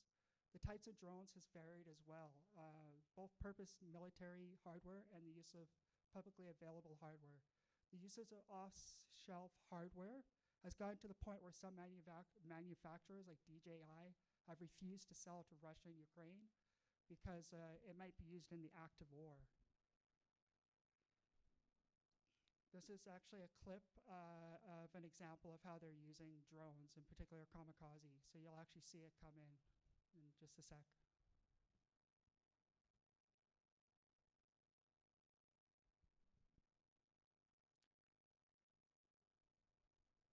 Okay, get on to the interesting part, cyber warfare. So some some examples of cyber war uh, attacks in 2022. This graphic is interesting from the perspective it marries kinetic attacks and cyber attacks. So this is on the ground attacks as well as in the cyber realm. The matching kinetic with cyber operations is a theme we'll see up come quite regularly. I'll highlight, highlight two events in particular, one cyber, one kinetic. They happen to happen on A- April 11th. So you can actually see uh, yeah, April 11th. No, sorry, March 11th, my, my bad. So if you see the Russian strikes in Dnipro, and then we have the matching uh, government uh, attack in the cyber realm. Cyber working closely with kinetic operational command often makes uh, for more effective use of cyber capabilities. This is just not relevant for warfare, but also when conducting red team assessments. For example, you will need to coordinate all groups involved with your engagement, physical, social engineering, network. Everyone needs to coordinate together. Your attack must be coordinated, super coordinated. Okay, next. So these are some attacks that led up. So we, we they started in 2014, which is, if everybody's aware of the timeline, is when basically Crimea was annexed.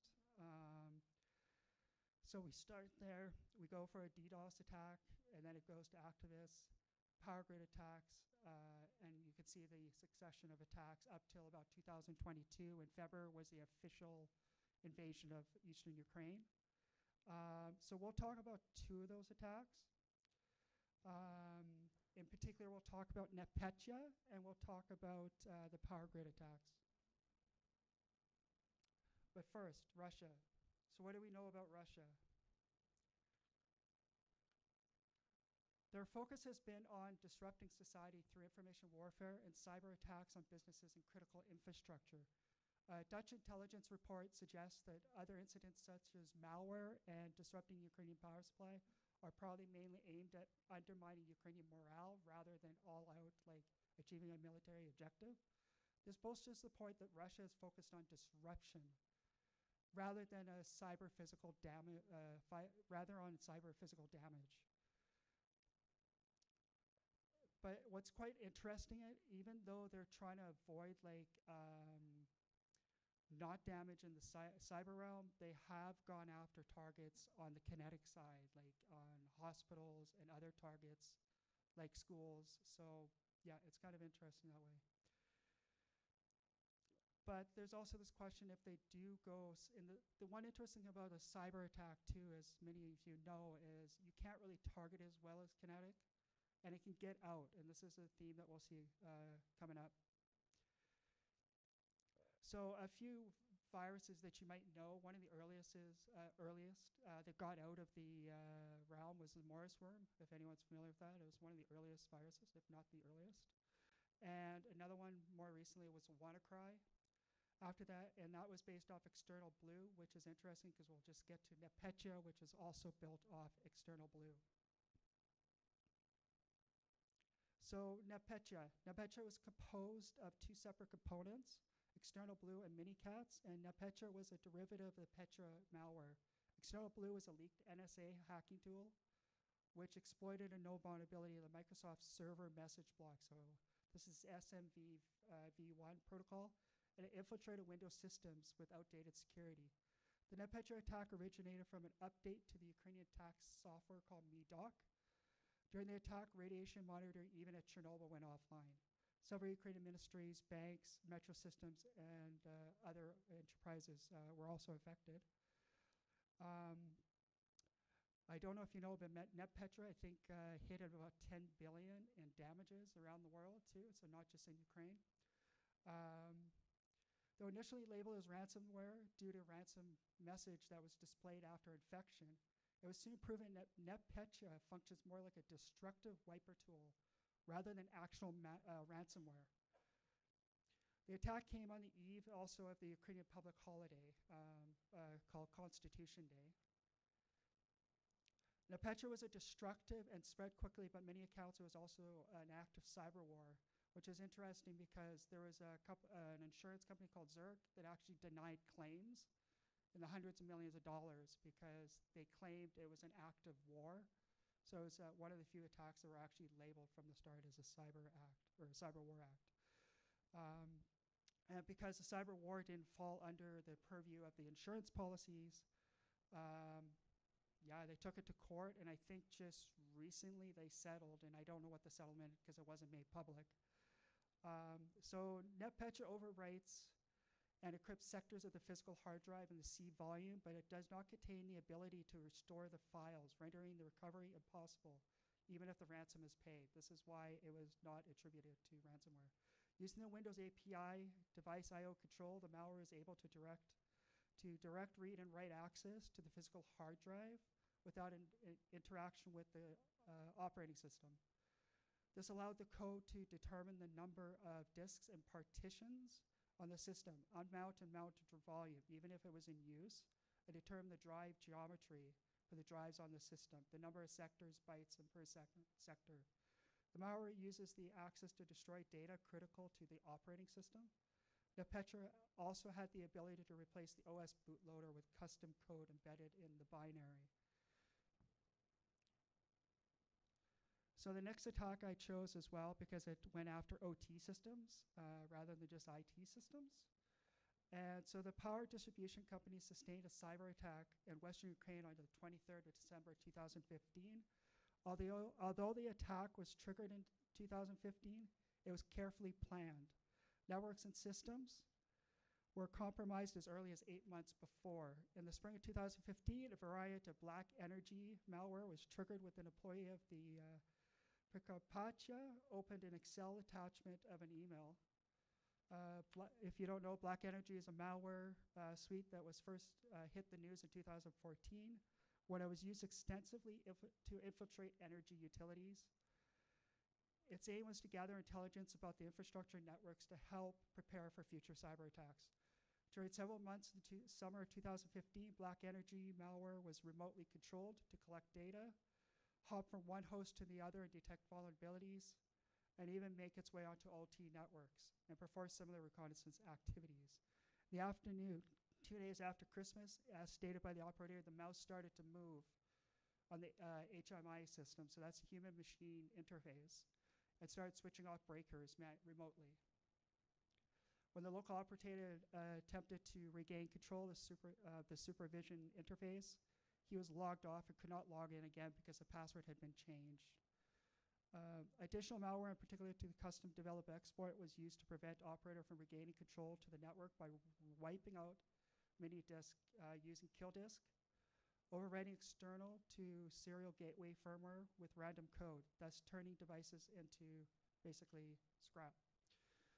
But the attack was too fast to allow any reaction. Indeed, a critical infrastructure environment operating actions may cause safety issues. Therefore, uh, they really couldn't do anything because um, they have predefined actions in a lot of these places. And so he had the operator had to follow guidelines and to take action. And if those actions don't include such things as a cyber attack, well, you're SOL. Um, this is exactly the thing that happened in Ukraine. Um, so it was, it's great to have SOPs, or what we call standard operating procedures, but we also need to account for when those actions arise and SOPs can't handle them or aren't planned for them. Uh, considering attackers are constantly coming up with new ways to attack our organizations, our SOPs need to find a way to adapt as well. Obvious actions could have stopped the attack, but like I said, it's OT and there's really standard ways of doing everything. So you couldn't just, let's say, unplug the system.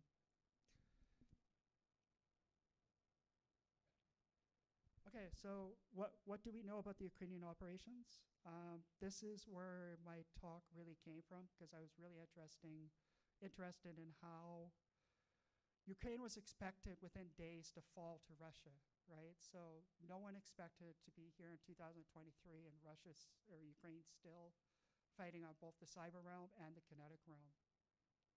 So why?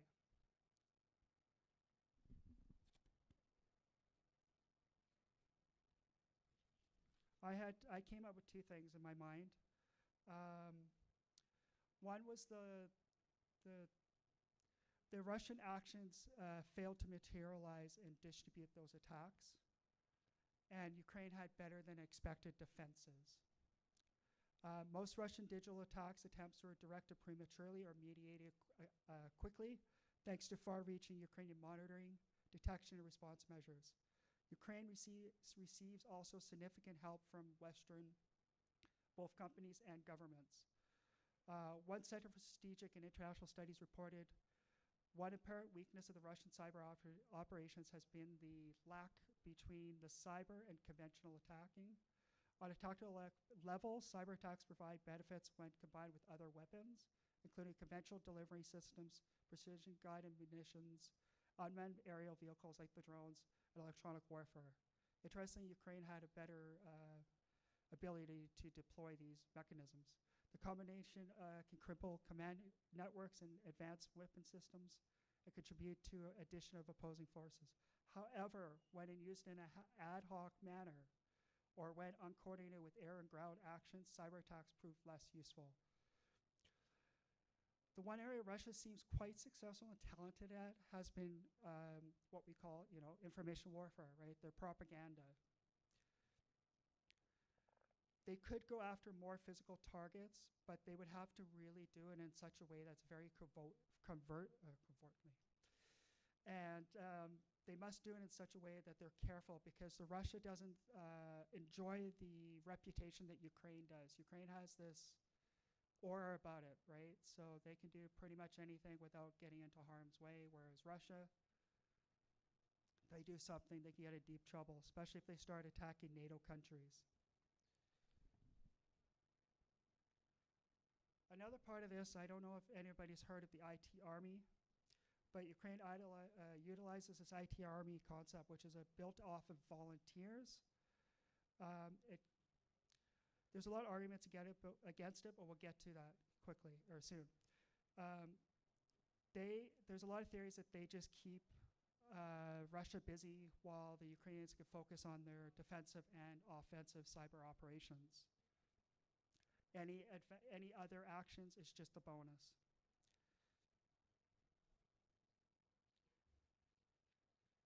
That being said, they do have some standard um, rules.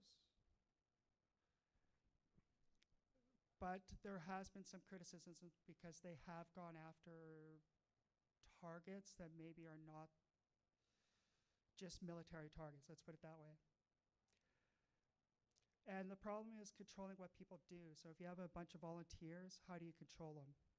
And my, and uh, but another aspect that we can think about is if you have a bunch of volunteers, you can also have some plausible deniability of a bunch of volunteers doing stuff. Well, it's not us, right? We're not doing it. Um, so you can re re uh, remain at arm's length and have that plausible deniability. They have used Telegram to organize, and they also have this called MHDDoS. I don't know if anyone knows this library. It actually does like mass DDoS attacks. You're not supposed to use it for nefarious purposes, of course. Um, so the IT Army has these rules of engagement, or um, yeah, their rules engagement, but um, if you work with hackers at all, it's hard to control what they do. So it's better to say, hey, here's a bunch of tools, hands off. And interestingly, at the beginning of the whole IT army, they were just giving them a bunch of targets, and here, have fun. Now they've gone to the point where they're using this MHDDoS to build a bot, and you just have to connect with their bot, and you can participate in their actions. Uh, uh, as I said before, people were just going after targets, and I have heard stories of people actually, on their own accord, going after things like OT networks, ICSs, and SCADA systems, and taking out power plants and various things. But before you do this, I have to say you are might be acting in an act of war and hacking, and we all know that's illegal. So I have to make that perfectly clear. You do that, you're in deep trouble. Uh, before the IT Army, uh, there was an entrepreneur who was also doing some voluntary activity. Uh, some of the tooling, as I said, is the MHDDoS framework, which forms the basis of a bot they built uh, that the Cyber Army volunteers can use to participate in efforts. Not so shockingly, there has also been cases of Russia building tools and distributing them to uh, partisans, if you will, and taking advantage of them that way. So if you don't know maybe what you're doing exactly and you download this tool, there was uh, some Trojans on it.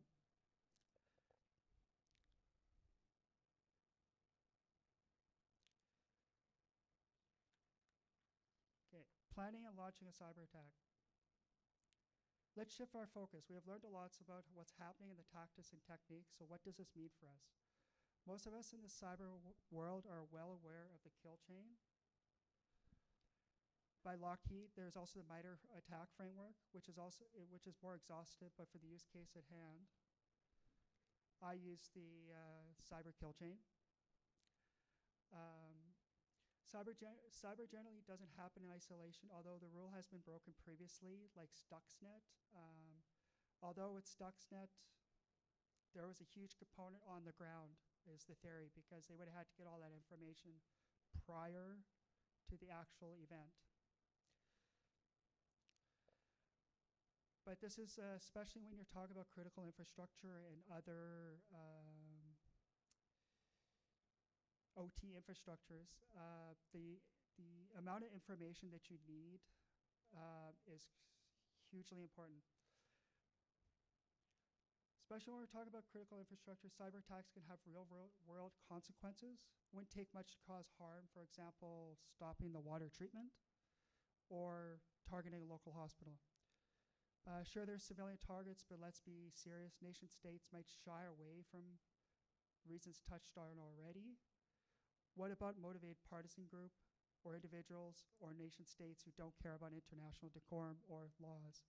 Concerning OT systems are widely underdefended and rely on outdated tech. With more being connected to the interwebs, it is it's, it's not inconceivable that a bad actor will target these systems either inadvertently or advertently target civilians. It is shocking that it hasn't happened more than we've seen already.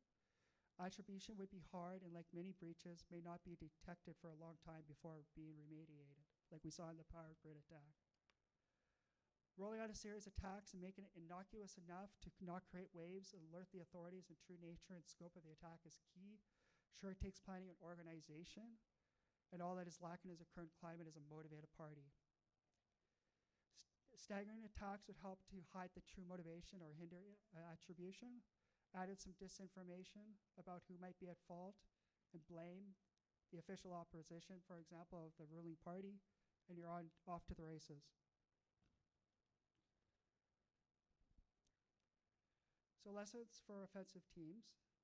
Uh, for all the fog and questions over the IT model, Ukrainian creativity and ingenuity could nonetheless have created a model for a new kind of warfare. Drones tracking troops' movements with purpose-built apps like ePPO. Uh, ePPO was an app for just tracking drones in the air. Uh, Telegram for tracking troops. There's Bellingcat. Uh, Twitter feeds like ELIT is another one as well. Brings a whole new meaning to a militia, not just democratizing cyber warfare, but it's democratizing war.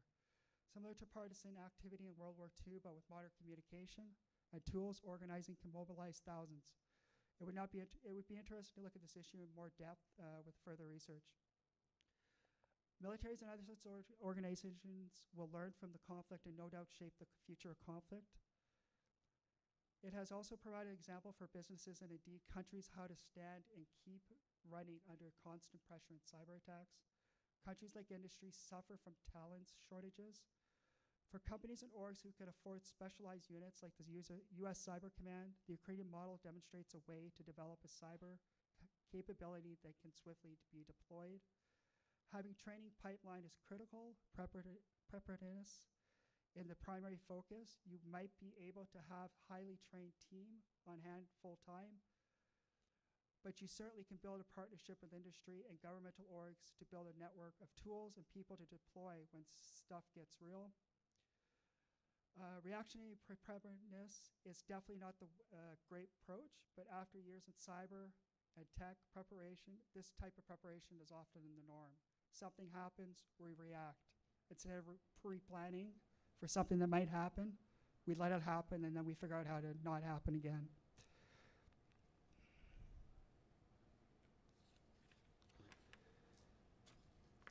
So strategic planning.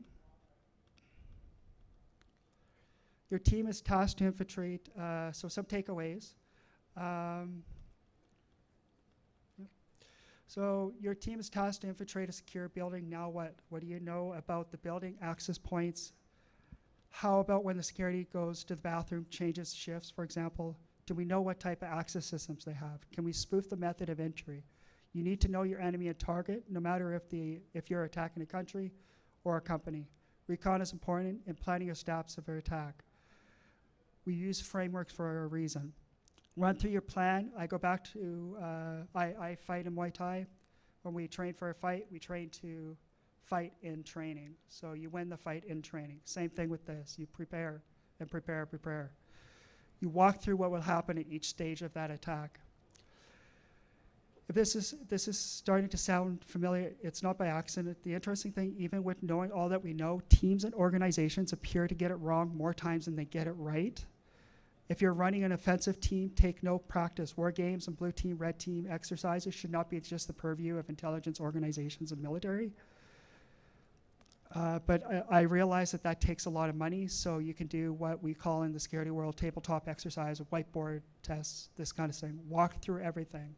There's no reason why an organization, even with three people, can't walk through your attack steps and figure out what your adversary will be doing. Consider who your enemy attackers would be power plants, maybe a target by terrorists, banks, by criminals. It doesn't matter what organization you're a part of, you are going to be attacked at some point. Even an insider, a disgruntled ex-employee, for example. It could take time and effort, and it could take time and effort to step back and view the system like an outsider, or even an insider who intends to harm. One of the values of the tabletop exercise is to let players consider the system as a whole. Organization. Without the idea who is doing what, the flow and tasking of your efforts will be haphazard at best. So we have a CTF going on this weekend. Even an eight, eight people team, if nobody knows what each other's doing or how they're doing it or what you're doing, you're not going to get anywhere. This goes to, uh, oh, we'll get to communication. So yeah, so when you're building teams and your organization has to be there. If you can't coordinate, you don't know what each other's doing, it's going to fall apart pretty quickly. Talent management may not seem relevant, but if you utilize your people properly, no amount of team members will get the task done. Right? We, you can have a thousand people, but if everyone's just sitting around dust bunnies, collecting dust bunnies, it's not going to matter.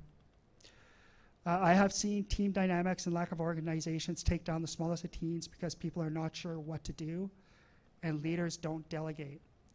Figure out what your people are good at and divvy up tasks. Keep to the chain of command in the event situation. This doesn't have to be your chain of command at your normal workplace, but has some structure in place at the event or at your assessment. But don't forget to listen to your experts, right? Not everyone's security is a huge topic. You can't specialize in everything. Figure out what your people are good at, divvy up tasks, keep to the chain of command. This leads to communication. How do we pass up and down information? And this, of course, leads into the topic of OPSEC.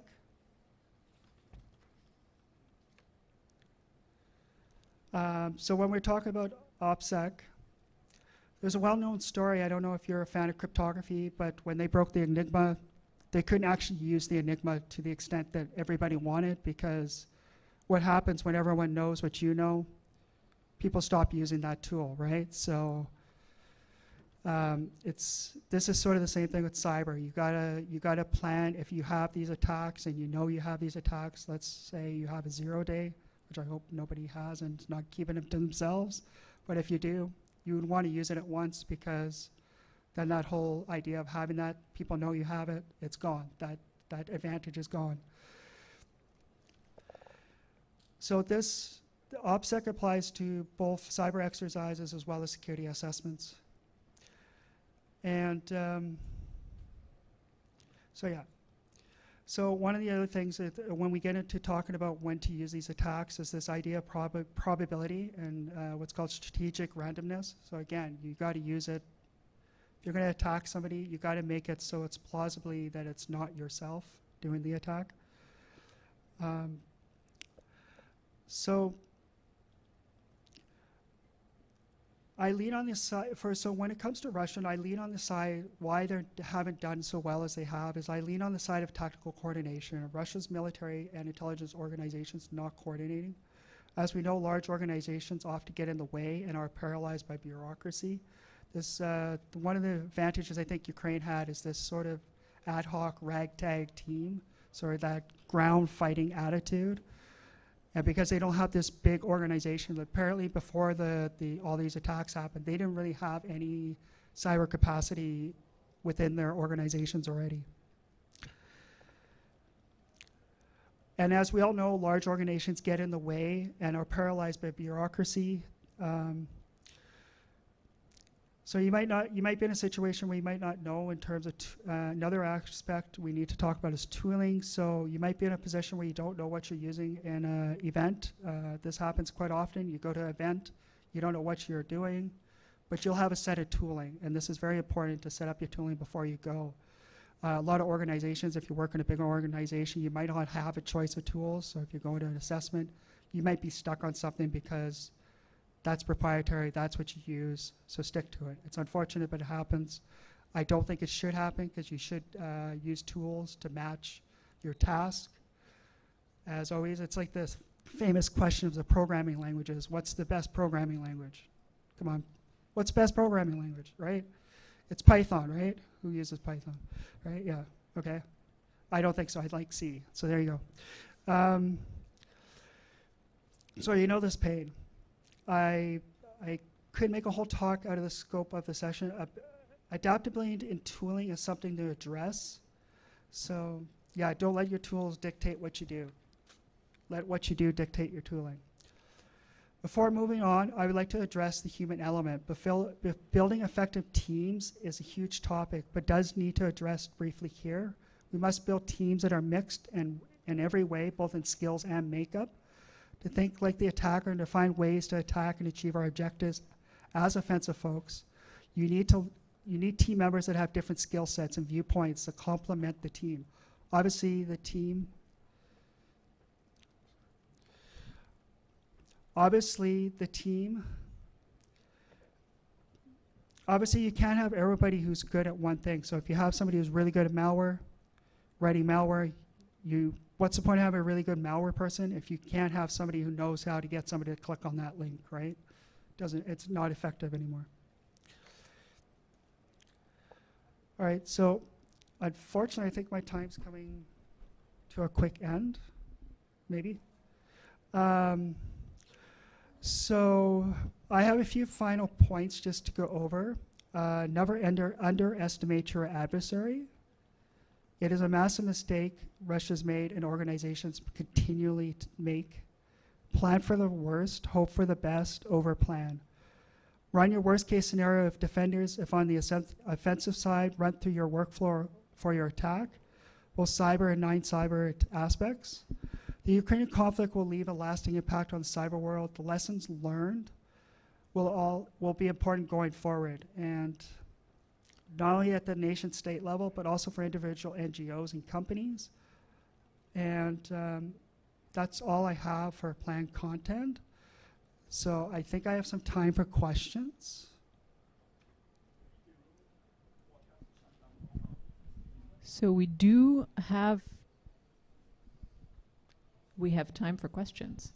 So um, feel free to use the QR code that may or may not be appearing somewhere, uh, such as on the stage, and um, I'm happy to read some questions out. Or since we don't have any yet, uh, if anyone wants to jump in and say something, you can do so, and I will translate for the stream.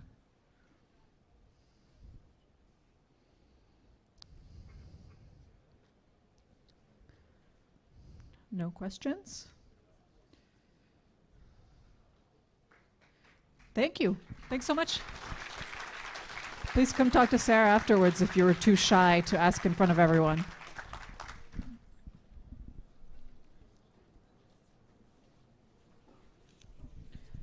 We're going to take about a 10 minute break and then we'll be back.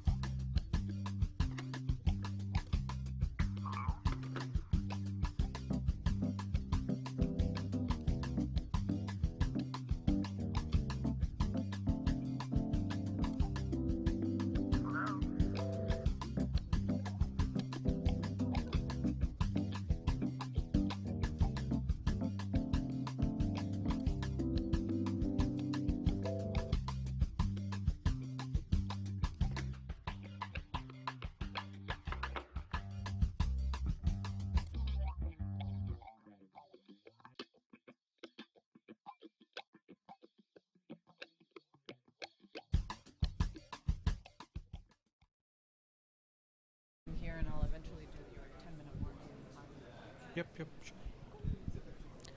All right. Okay, and we're back. Um, welcome everyone. So I'm super excited to have Suchakra Sharma on the stage. Uh, he is a repeat speaker. He's been here before. We know him well. Um, he's the chief scientist at Privado, where he helps build code analysis tools for data privacy and data security. He completed his PhD in computer engineering from Polytechnique, where he worked on eBPF technology and hardware assisted tracing techniques for OS analysis. For the last six years, Suchakra has been working on enhancing static analysis tooling for fixing security bugs at scale. And he is also quite a prolific conference speaker, including NorthSec. Thank you so much. Hey, everyone. So, um, thanks a lot uh, for for this very lofty introduction. Um, you know, but it's just me and my humble mustache, which is here. so, um, uh, I welcome you to this talk. Um, we're going to discuss a lot of concepts which have not been discussed in privacy before, and I guess it would be one of the first times we are going to do a deep dive into it. And uh, just let's uh, get into it then. So I'm this guy. Uh, you, you, know about this, so no need to read this. Uh, privacy in modern times is uh, actually something like this. You know, uh, you click yes, I agree, and you sign away your soul, or you burn your money and go to the Himalayas. Uh, so I, I mean, there, there's no choice in between at, at this time. So, um, and why why do people feel like this? Is because uh, they see a few things. They see the mistakes every day. You know, they see news items like this. Uh, you know, Twitter advising all 330 million users to change their passwords. Uh, a gas state agency in India, you know, leaks millions of Aadhaar numbers. Aadhaar is like a SIN number here, so so it's like that. So, and all of these things, when you go to the root of it, is very basic. You know, for Twitter, it was actually plain text passwords and logs, uh, something as simple as that.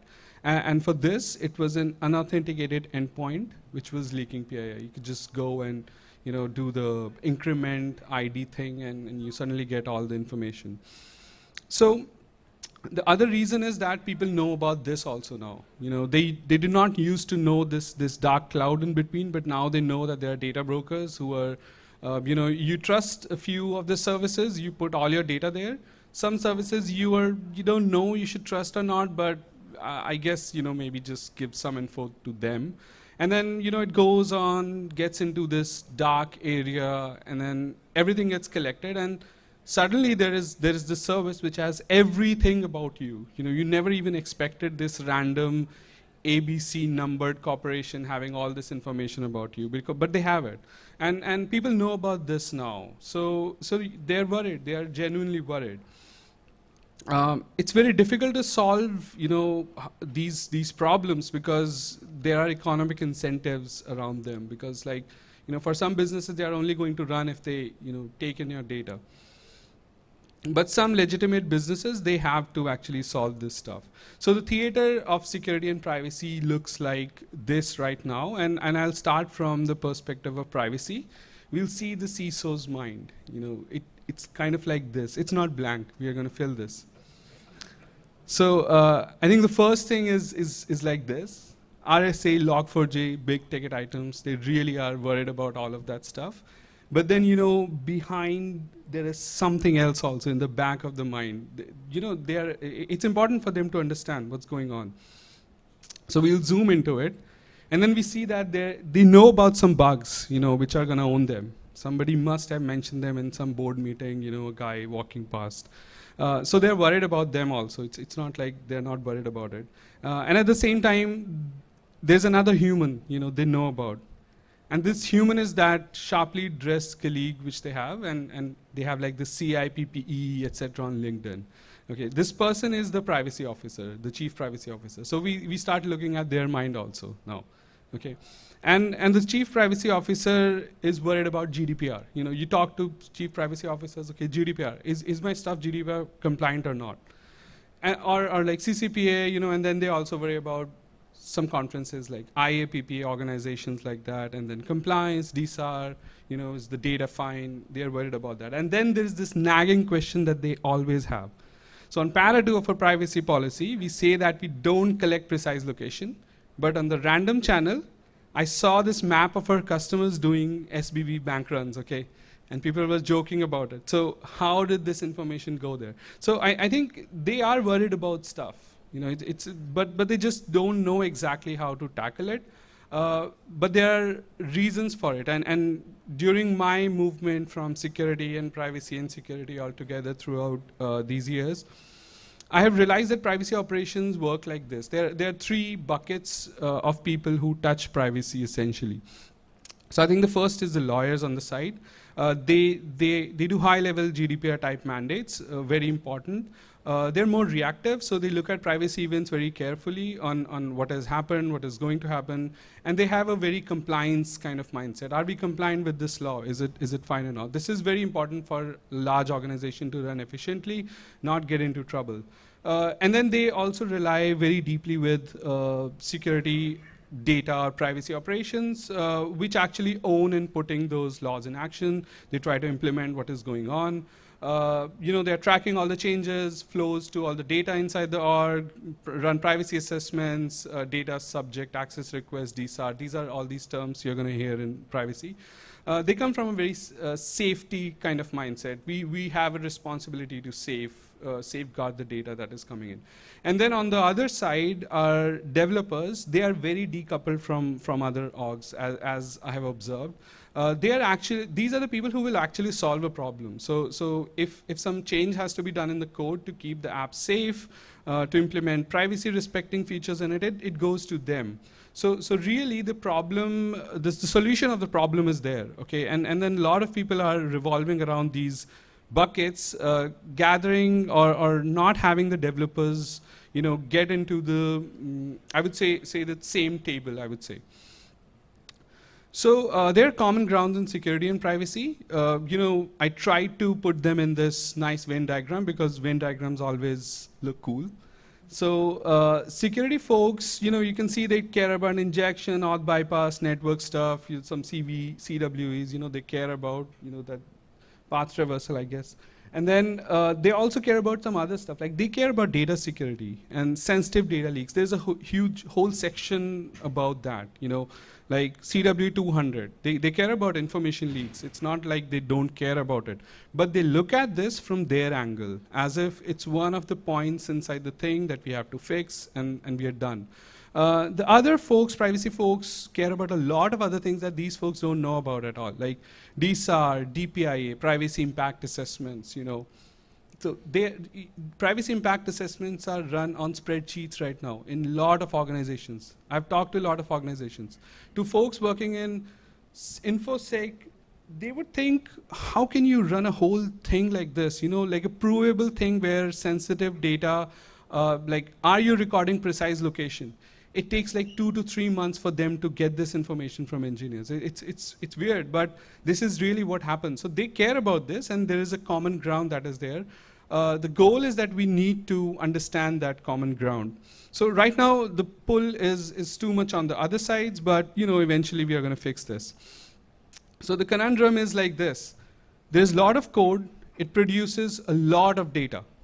You know, so the data that is coming in all these databases, going from one place to another place, going in the log, you know, getting leaked somewhere, it's coming from code. Code is responsible for that. And privacy operation is like someone with a broom trying to, you know, brush this water spilling on, on, on, on the surface. You know, it's, it's not going to work. They, they try their best.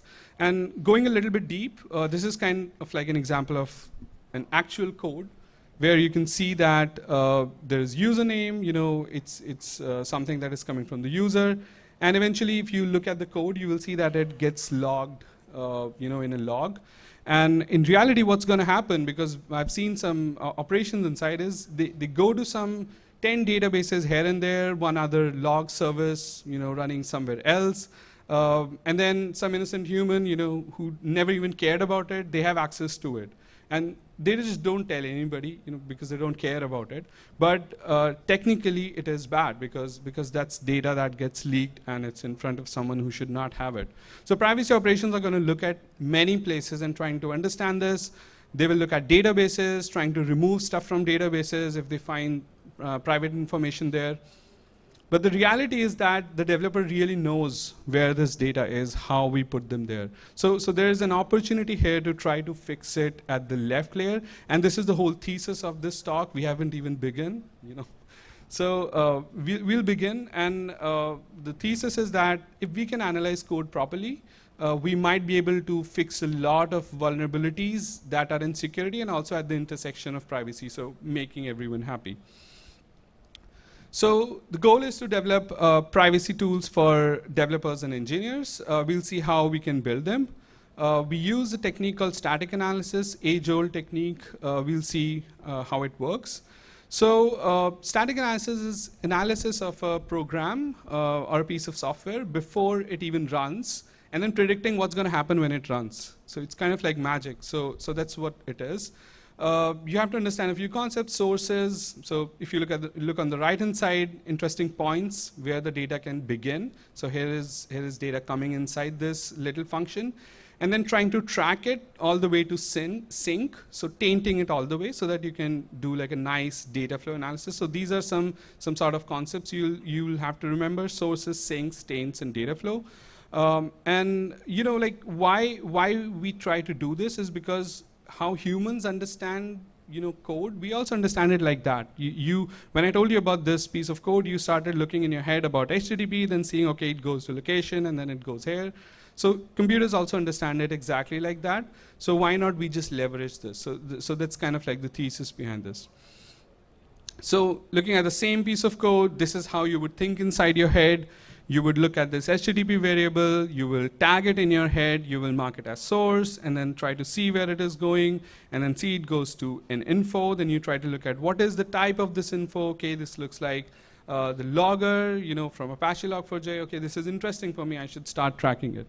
So, uh, after this mapping is, has been done, you can ask this question. So this is your goal, you know, when you try to analyze uh, software. So find a flow from a variable, which is PII geolocation, to a sink log function of patch, uh, package Apache Log4j. So you might have this, you know, thinking in your head, trying to understand a piece of code, and that's what you do mentally. So, uh, so the goal of static analysis is to try to model this, you know, uh, using computers. We have been doing this for ages. Uh, compilers have been doing half of this work all the time. So we are just going to leverage that. So why should we do this? Because code is actually the true container producer or mover of data. So why not just analyze data from that layer rather than just looking at it when it gets stored somewhere? So we can find bugs early in the software development lifecycle, you know, try to fix things very early rather than trying to be, uh, you know, reactive uh, and trying to look at things at runtime. So uh, how do we do this? So before we do this, we'll have to do a deep dive and understand what is even code. Uh, so existential questions like this in computer science can be solved by complex things like this. So uh, I'm not going to go through all of it, but essentially what you need to know is that uh, this is how computers are going to understand this little line, you know, int y uh, equals x plus 50. Uh, it converts it into this nice tree format, just remember the name AST. Uh, and then eventually, through this AST, we are able to get this control flow graph on the right-hand side, how control passes between different points inside the application, inside the function. Uh, remember, we are not even executing anything. It's just statically analyzing the whole uh, you know, piece of code and trying to understand that. And uh, take a good note at this yellow thing there, uh, orange thing. Uh, so, so that's uh, essentially where our data is. So with this information embedded in these nice trees and graphs that you see, uh, we are able to uh, get a dependence tree so that we know that the value of z depends on the value of y, depends on the value of x. So by doing this, you can see where we are approaching. We are eventually building like data flow of, of a complete application. So, but programs are more complex. They're not single lines of code. Uh, real programs look like this and they have more uh, abstractions in, in, in, them. So, so there are class and types which have been introduced. A variable can be a member variable, it can be a local variable. Uh, there is a package now, or namespace, based on what language you have. I mean, procedure, function, methods. I mean, these are all variants of, of things. Uh, so, so we have these new uh, new abstractions that have been added, and then there is a relationship between them. So for example, this uh, method get patient that you saw before, uh, is uh, defined in, in, in this class patient controller, which instantiates another variable. And the method also contains a, a call, which is find ID. So you can see programs will become huge, you know, when you convert them to a graphical format. And that's, that's essentially what we try to do, we try to achieve. So uh, to embed all this information, an abstract syntax tree, the information about calls, information about data flow, uh, we use an approach uh, of building a graph, like a massive graph which has all this information. And the base layer of that would be an abstract syntax tree. So it's a tree which has all the little, little information about, uh, for example, here, you know, x uh, plus 50 equals y. So, so this kind of information is embedded in a graph like that. We'll have that information of the whole code embedded as one of the base layers.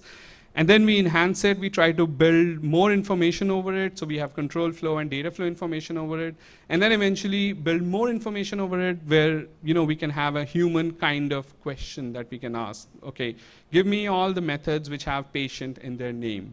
So this kind of information is now embedded because we have this nice graph. This whole thing is called as a code property graph. Uh, uh, a colleague of mine invented this. You can go on the Wikipedia article and you can read about this. Uh, so, so a big graph, and it's a queryable graph. You can query it and ask questions. So uh, languages, different languages, whatever code is written in different languages, that's front end. Uh, and then the front end, uh, you know, creates this nice graph. And then you can query the graph using a query engine. So in real world, it would be like how it would, how you can operationalize is, is, is there is a Java app you have, and then it converts to this graph, and then you have this question, a human-like question that you had. You can ask this question, and then the graph returns an answer. It says, okay, I found one flow. You know, starts from HTTP, ends to the first parameter of info uh, on this line on this file. So you have a lot of this information embedded uh, completely in it. How we can use this? So what if we could run thousands of these queries on millions of lines of code? Okay, it's not AI. It's just it's just simple stuff. Okay, we are not going to do a lot of LLM AI stuff. It's very simple. Thousands of these queries, formulate these nice queries, and run this on millions and millions of lines of code. It's going to throw out interesting flows, which you can see, uh, which are provable that this data went from here and ended up there. So that's essentially the uh, way, way we can solve this. And uh, to do this, we built this tool called Privado Scan, uh, which starts scaling static analysis and, and tuned specifically for privacy. Uh, Privado Scan is open source. Uh, you know, there are three components of it. There are three repos, Privado, Privado Core, and Privado CLI. Uh, there are rules which are defined in nice YAMLs, very easy to uh, remember, very straightforward. Uh, the engine, it, it, generates the CPG, converts these rules to actual queries, so these millions of queries, and then runs these queries on, on you know, lot of code. And uh, then you can view the results. Uh, by default, there's a JSON and something on the CLI, but then you can also visualize it on a community dashboard that we have. Um, Privado is LGPL, so you can download and play with this. How does this work? So source code converts to this graph we talked about.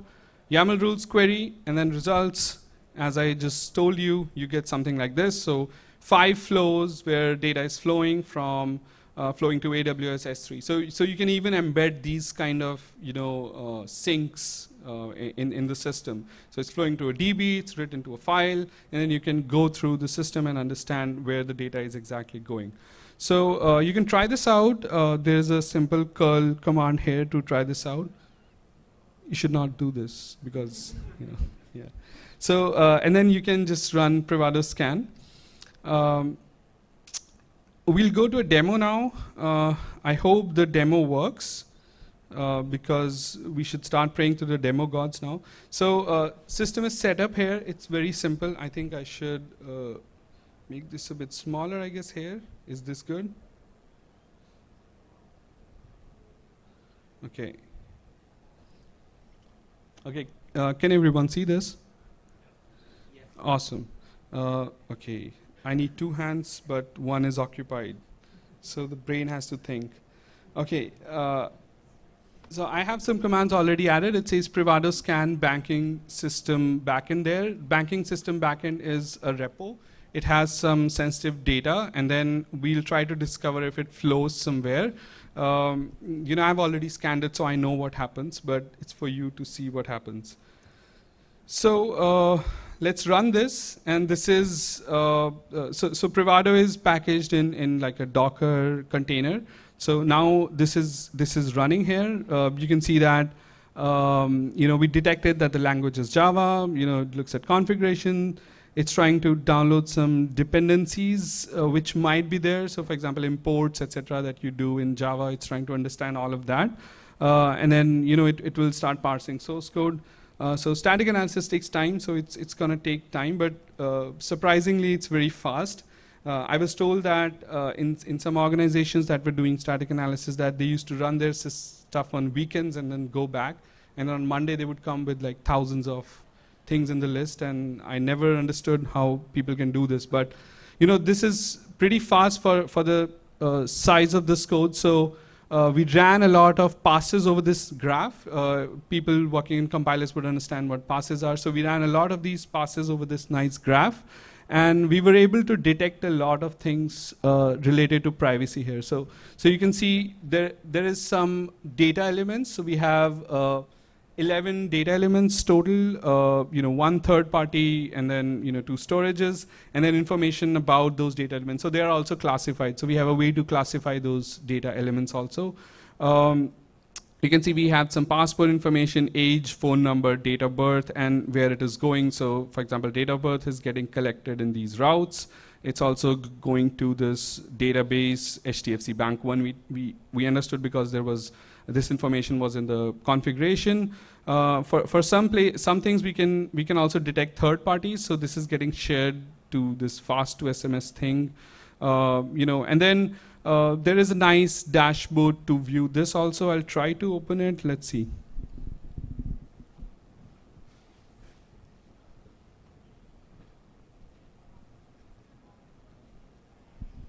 Okay, so so uh, this is how you know it, it looks. So you have these data elements on, on the left side, and and then you see data going um, all the way on the right side. So here we can see like phone number. We were looking at phone number. We can see where phone number went. Uh, it, it, it was getting shared to fast SMS, goes into the storage, and then you can click on code analysis and see this literally line by line how this was going from one uh, place to another. Uh, and then you, you can see eventually, you know, you created a URL connection, and then maybe, you know, the string in URL was Fast2SMS, and then that's how it detected that essentially you made a call to that, and the phone number was a part of that message that went there. So, so this is an this is an example. Uh, contrary to a lot of what people say, I find this thing very interesting. You know, like stuff going into logs uh, is is one of the interesting things that I find here. So uh, that brings me to the end of the demo. Uh, you can try to play around with it with your own um, uh, with your own repos also uh, try with java uh, python is also there. Python is beta at, at, that time at this time and js is also beta but i think java is working very well so please play around with this. Um, where do we go next? So i think if, if someone asked me what we should do you know in privacy this would be something very golden uh, for me. You know a privacy policy very high level stuff that you know lawyer folks would understand much more better, you know, with CIPP/E stuff on their LinkedIn. Uh, we want to understand how they translate to GDPR violations, you know, GDPR or any other uh, law. So GDPR is like a, you know, kind of like a larger term that I'm uh, using for CCPA or any other kind of PIPEDA for Canada. So, so these kind of regulations which are there. So any violation, connected with the policy that you already have in your organization, and then an actual bug inside the code. So, so this would be this would be like the golden, you know, kind of like the holy grail of of uh, getting privacy done properly. Uh, it's very difficult to do this. You can do half of it, you can do one piece of it, but through and through, it's it's very difficult. But people are trying. Um, there's a research paper below. You can see see this. I mean, this this has been talking about a very similar approach, uh, and, and, they are also doing something like that. Um, and then, you know, find these exact privacy violations and suggest some automated ways to fix them. You know, we can we can definitely leverage uh, AI or, or, the advances in AI right now for that. I think the time is there. Uh, the models are just not yet there, but I think they are almost there.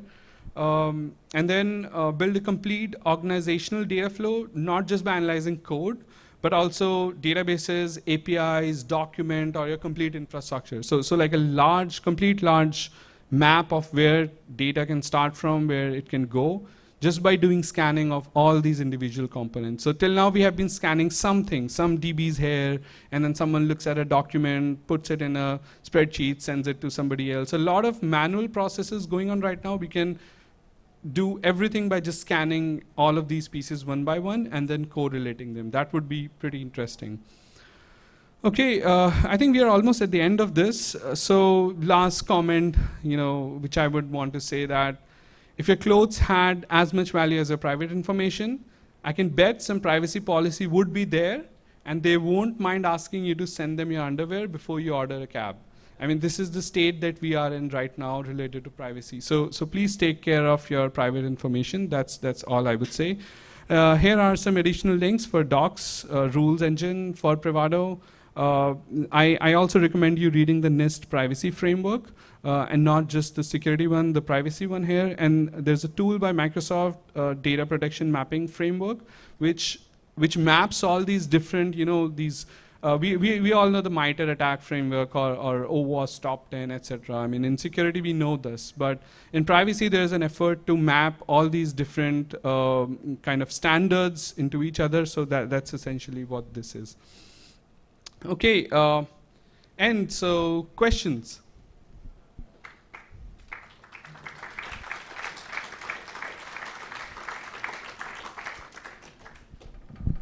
Okay, so um, let's start with, ah, there we go, amazing, magic. So do you think this approach could encourage organizations to retain PII in a dangerous way? Uh, and should we focus on privacy by design? Good question. So I, I, I think this is actual privacy by design. I mean, yes, they, they are retaining your information anyways. You know, you would be surprised to know how much information they retain on you, and you'll be surprised to know that they have no clue what to do with this.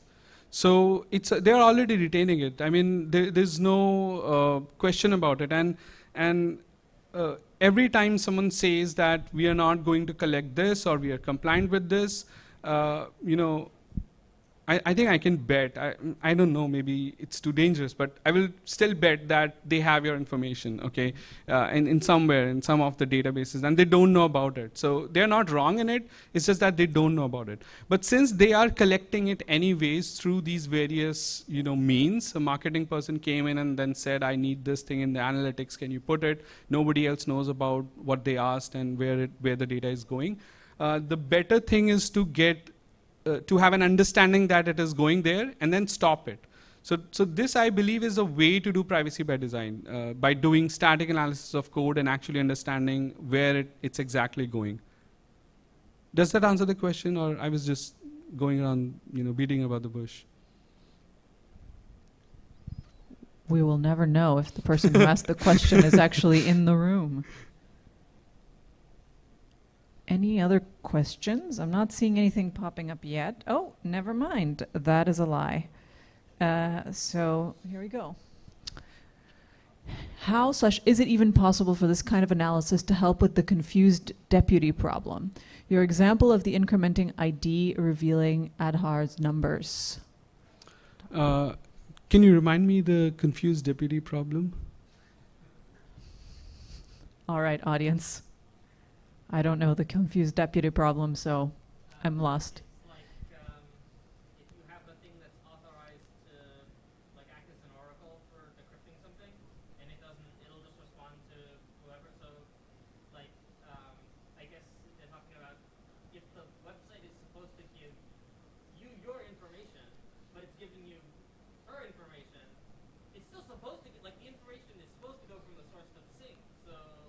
Okay, got it. Yeah. So, um, so I think when you actually do code analysis and try to understand how this information was collected, for example, let's take the Aadhaar number. So, so if you look at the system, you will see that the Aadhaar number was collected in this certain variable, and we see that it went all the way here to, uh, you know, populate this template in this, you know, JSX file, you know, and here it was going you would actually you would have a complete flow of where the data went to.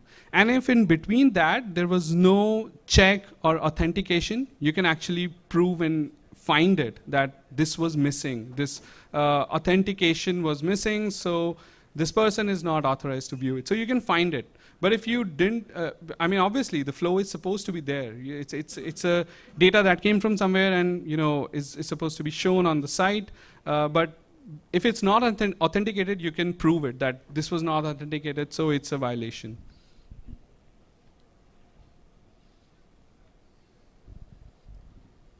Okay, and we've got another one. Let's see. Uh, won't companies actually want to stay away from tools like yours so that they can keep claiming that they did not know? 100%. Like 100% they want to be away from us as much as possible.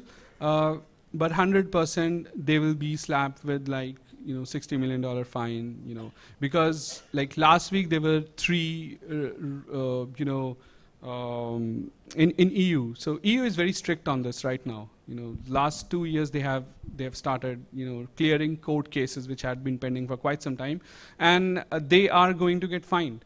So it's the same thing that happens in in in cybersecurity. So you know like fear driven fixes which should not be there. People should intrinsically be motivated to not leak information. But they don't do it, so the other approach is they'll get fined, and then they will come to us to either detect where the issue was there or you know bake privacy by design the way it is supposed to be but I, I would not be too pessimistic about it because i'm interacting with a lot of companies and and they are uh, you know really coming to us from an engineering perspective for the first time never experienced this like somebody, uh, a large organization coming to us and saying, oh, we know that all of this stuff is fine with us, but we actually want to bake privacy by design. So it's, it's, it's a new thing, you know. And privacy by design, privacy by design and these techniques being pioneered here itself in Canada, I mean, it's, it's a big thing.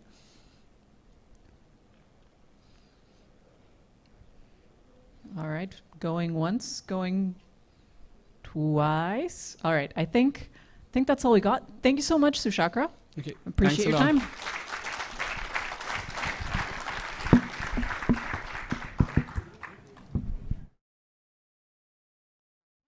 And then we'll be back for the next presentation, which is the last of the day. Well, there's the uh, NorthSec 10 years panel, and then there's a cocktail, but the last in this room.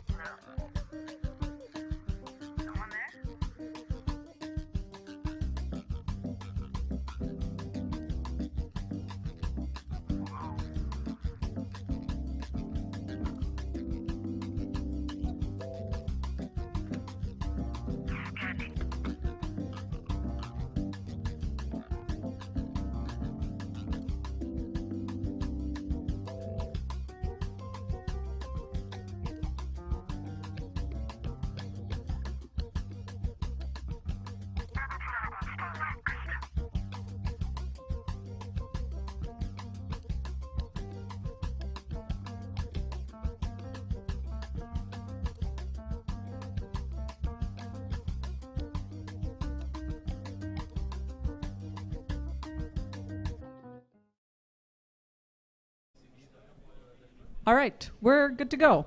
So we're going to get started with the uh, last talk of this track. Um, so we've got some guests today who came from halfway across the world. So um, on, up on stage we have Vahagn Vardanyan. Uh, he's the CTO of RedRace, and his expertise includes protecting vital business applications, including ERP, CRM, SRM, banking, and processing software. He's a well known authority on enterprise application security, including SAP and Oracle. He's published many vulnerabilities and speaks regularly at conferences across the world, as we can see. Um, and special thanks to these folks for, for making it here. Um, and uh, as you can see, the youngest team member uh, is over here and really awesome. So Thanks Thank a lot. you so much. Um, uh, hello. I'm excited to share my presentation with you today, uh, which focused on the vulnerability chains in the SAP softwares. And today I will demonstrate how to possible to escalate privileges in SAP and jump from on-premises networks to the SAP clouds. Um, uh, here is the, oh, sorry. Um, here's our agenda, and um, I, I think it will be help, uh, help you to understand the flow of our presentation. Um, my name is Vahagn, I'm CTO of RedRace, and Arpine, she's a CEO of RedRace. Uh, a few words about RedRace. Uh, RedRace is a research and development center in Armenia. Uh, we founded two years ago, and since uh, 2021, we discovered over 50 zero days in um, enterprise software, especially SAP, Oracle, etc. So what is SAP? Uh, the SAP is a multinational software corporation uh, that specialized in er enterprise softwares uh, development, including enterprise resource planning softwares. And um, ERP softwares is used by businesses uh, mm, of all the size across uh, all industries to manage their uh, today operations. Okay. Um, a short story of the research. Uh, last year, one of our customer requested us um, to mm, analyze their uh, SAP landscape. Um, the SAP landscape was very hard, but here I I wanted to show very simple network structure. Um, the customer give us an access as a regular user in the user space, and the request was, uh, hey guys, is it possible to find out some vulnerabilities, or is it possible to get information from SAP Cloud from the user uh, uh, user environments, user network environments, right? So we started to analyze, and first of all, we built this map. As you can see, we split the map uh, by three parts. The first one is a user environment. The second one is on-premises SAP servers environment. And the third one is um, SAP cloud environment. Um, the end users uh, didn't have access to the SAP cloud directly. Uh, so they have connection only to the SAP servers on a premises network, right? But the main components was a cloud connector that was connected to the SAP cloud and was connected to another SAPs in on premises. So it means that if you if, if would like to compromise the SAP cloud or get information in um, SAP cloud, we should compromise the SAP cloud connector, right? But uh, to compromise the SAP Cloud Connector, we, can, we, we should compromise the SAP servers. So we need to jump there, there, and in the cloud. Okay. Um, when we are compromising the SAP servers, usually uh, we can um, have four type of access. The first access, it can be admin user in SAP application. And the second one, we can get um, access to the SAP database. Uh, the third one is um, vulnerability or access when we can read uh, application, uh, uh we can read files from the SAP application using some directory traversal, just for example, or uh, we can execute some code or command in SAP servers. Okay, um, before we will will um, I will demonstrate vulnerability, I'd like to mention that all the vulnerabilities has been discovered uh, by Redress during the that assessment, uh, only except one, the CVE from 2021. We just reversed it, um, uh, and all the screenshots uh, that I will demonstrate, I will show you. It's from Redress demo server, as as you I- think you can understand that I can't uh, show the screenshots uh, from our customer servers. okay. So first of all, we analyzed, we scanned the SAP applications, and as the our customer was uh, from gas and oil industry, we saw that he used SAP manufacturing execution model. The SAP manufacturing execution model is, um, is using in many, many industries. And uh, the, the, the ME, uh, SAP ME model is a Java application that is deploying in Java uh, stacks, application Java stacks. So, uh, as the Redress is a partner of SAP, we could download that component and we started to analyze to discover some vulnerabilities there. Um, we had a low, pri- low privilege user and um, we during the research, we found Vemo delio.gsp file in the SAP ME component. And as you can see from the, this line, um, the GSP script is receiving file path, um, some file path parameter, and mm, using file path parameter value, he's reading the file and he's printing that content of the file in the page, right? Uh, um, the payload of the execution is here, and uh, I'm showing this pay this payload here the first time after the fixing. So right now we have uh, access to the SAP application server as um, uh, I I mean we can read the files from the SAP application. Okay, then we need to try to escalate our privileges in SAP to uh, get access to another levels. The privilege escalation number one. The main thing is that SAP stored some critical information in the file system. And on the, this screenshot, you can see two files, sextor.properties and sextor.key. Uh, file uh, contains in encrypted mode application admin password, and JDBC connection string with username and password. As we are in the SAP cybersecurity industry over 10 years, we know the encryption algorithm, and of course we know we have the key of the encryption. And the encryption algorithm is the triple DES. We decrypt it, and we got the SAP admin application uh, password here, and JDBC connection string. Okay? So right now we have uh, admin user of SAP application and we could connect to the SAP database. So what what's next? We need to, but if you remember the network map, map, we should compromise the SAP cloud. We try to escalate our privileges again. Um, we escalate privileges by two ways. I will show you here the first way because the second way still is not fixed by SAP and I could show it. Um, here you can, uh, we analyzed the exist other vulnerabilities um, and we found CV 2021 from 2021 and as you can see from the screenshot, the for executing this vulnerability, you need to have privilege uh, high, but we already have it. Okay, so if the SAP admins is not updated this component, it means that we can execute this vulnerability also.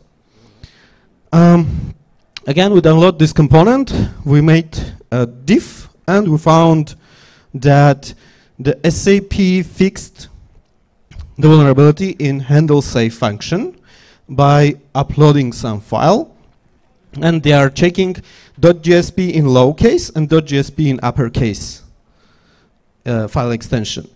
Uh, a small tip, uh, tip and trick from me, uh, if you have some Java application and you're trying to upload the GSP file and the Java application is telling you, hey, you can't upload .gsp, try to upload with uppercases. It can be work. Um, using that information, we of, of the vulnerable servlet, servlet name, function, and others, we built the proof of concept. And again, I, I'm showing the proof of concept first time uh, after the fixing. And uh, we sent that uh, th this the following HTTP request to the SAP server, and it works. It, it works, sorry. Um, here we can see that we executed the task list command. And uh, we can, right now, we can execute the mm, command in the SAP servers. But if you see the screenshot, on the shell script is not displaying the username of soft processes. It means that the user which running our shell script doesn't have enough privileges to show that info, right? So what, what we need to do? We need to escalate privileges again. Um, after um, we, uh, we started to analyze the SAP processes by Process Hacker, and uh, we discovered three processes um, that um, running under system user. Okay, um, for us interesting was the following processes: SAP host exec and SAP OS call exec files uh, processes. Sorry. Um, we use the process monitor for uh, tracking the activities of that, that, that processes. And um, we started to analyze and we started to mm, tracking what kind of file they're creating, executing, modifying, etc. And we saw that there are a few activities, but the most interesting was that the SAP host exec process, this one, uh, is executing every two minutes SAP CIMB process, dot, exe process. After analyzing permissions of that file, we found out that many user, uh, sorry, any user from the operation system of SAP server could delete that file and write file by this name in the folder. So what we did, we built, we created a shell code in .NET, built and uploaded to the Windows machine. The shell code was open the port, uh, should open the port 4444, listen any interface, and when he received the commands, he should execute that command by CMD. Okay, we upload that file and we re replace the SAP CIMB.exe file. And it worked. The SAP host exec is executed our shell uh, file and I don't know why. I don't know what was wrong, but our shell file was has been signed by, uh, by SAP SE. Maybe it come from SAP, maybe it's a bug in uh, Process Hacker. I need to investigate. But you can see the uh, in the screenshot that our shell script has been signed. So after the executing netcat, uh, netstat, sorry, you can see that port has been open, and we, we, we, could connect to that uh, shell and execute it with my command. And yeah, we are system. So that's it. But um, again, you remember that we should compromise the SAP cloud, right? Um, we need to jump to the from the one of the SAP SAP servers here from SAP Java to Cloud Connector. Uh, to do that, we decided to uh, dump memory of uh, LSS process. Um, our customer said that we couldn't, as we are system, we could disable the Microsoft antivirus and used Mimikatz there, but he said we couldn't disable the antivirus. We couldn't extract the dump to our uh, Windows machine to analyze that dump. So um, we had another way only. Uh, we downloaded the um, C sharp mini dump from the GitHub and build that program to dump the process, uh, the, the, dump memory of the LSASS process, right? But of course, uh, this program is detected by antivirus and by, by any antivirus included Microsoft antivirus. So we try to modify that file, uh, th the source code of the sharp mini dump. We modified it, we replaced some uh, strings, we replaced strings by chars arrays, uh, we compiled again and uh, we again has been detected by Microsoft antivirus. And you know, the bypass was so beautiful, we just uh, set some file extension uh, to, we, we used file extension that is not uh, has been registered in Windows machine. And we executed by cmd slash c mini dump bypass ms.exe.pp and it has been executed and he dumped the password and hashes of the process. Okay? So uh, after that, we had the uh, admin users and password from application and from uh, operation system. And right now, we should jump to the uh, SAP Cloud Connector, sorry. And you know how we jump? Uh, it was so easy because um, in the last cape there was over 100 SAP servers and the SAP admin set uh, the same password for all the SAP servers landscape. So we jump to the SAP Cloud Connector. Um, we connected to SAP uh, Cloud Connector by SSH and started to analyze the system. As the SAP CC is based on the Apache Tomcat, uh, the password was in users.xml file here uh, in hashed mode. In hashed mode. So we continue to analyze the system to get other ways how it's possible to discover the password. Um, we found SAP SSFS file. The SSFS it's a modern SAP um, secure storage, and um, which we should try to decrypt this secure storage. Um, after some researching um, of SSFS structure, for SAPCC, we found uh, that uh, the SAPCC SSFS contains the following properties, should contain the following properties. But um, the encryption algorithm has been written in binary files and reversing that binary files can be take a long time for us and we choose another way. Uh, we with uh, so that there are lib sap scc20 gni.so file. And that file had one exported function uh, sextor access get record. And what we did? We just used that so library as a, a native function here. We used that uh, function in our mini Java code.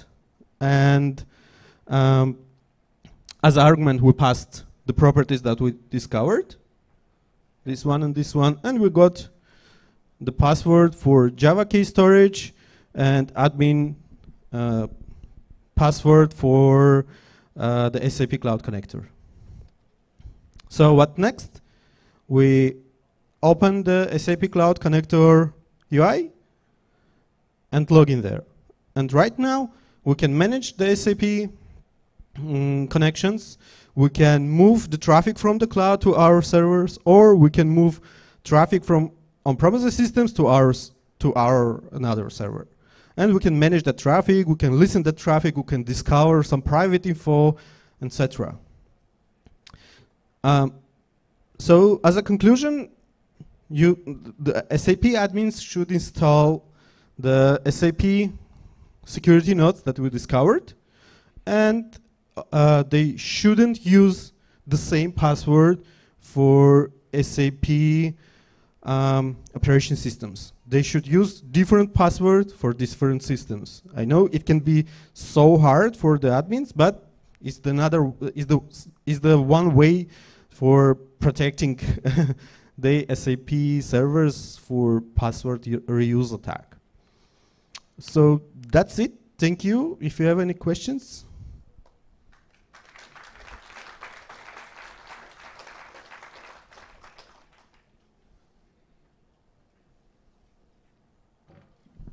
All right, folks, you know how this works at this point. Um, priority to anyone who submits via Slido. We'll also give it a couple minutes. And uh, if anyone is feeling brave, you can also ask, and I will repeat the question.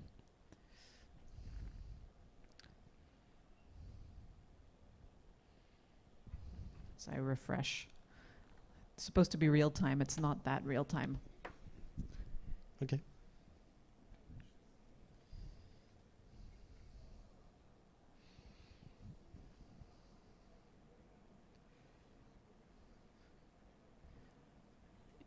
Anyone with questions? I'm gonna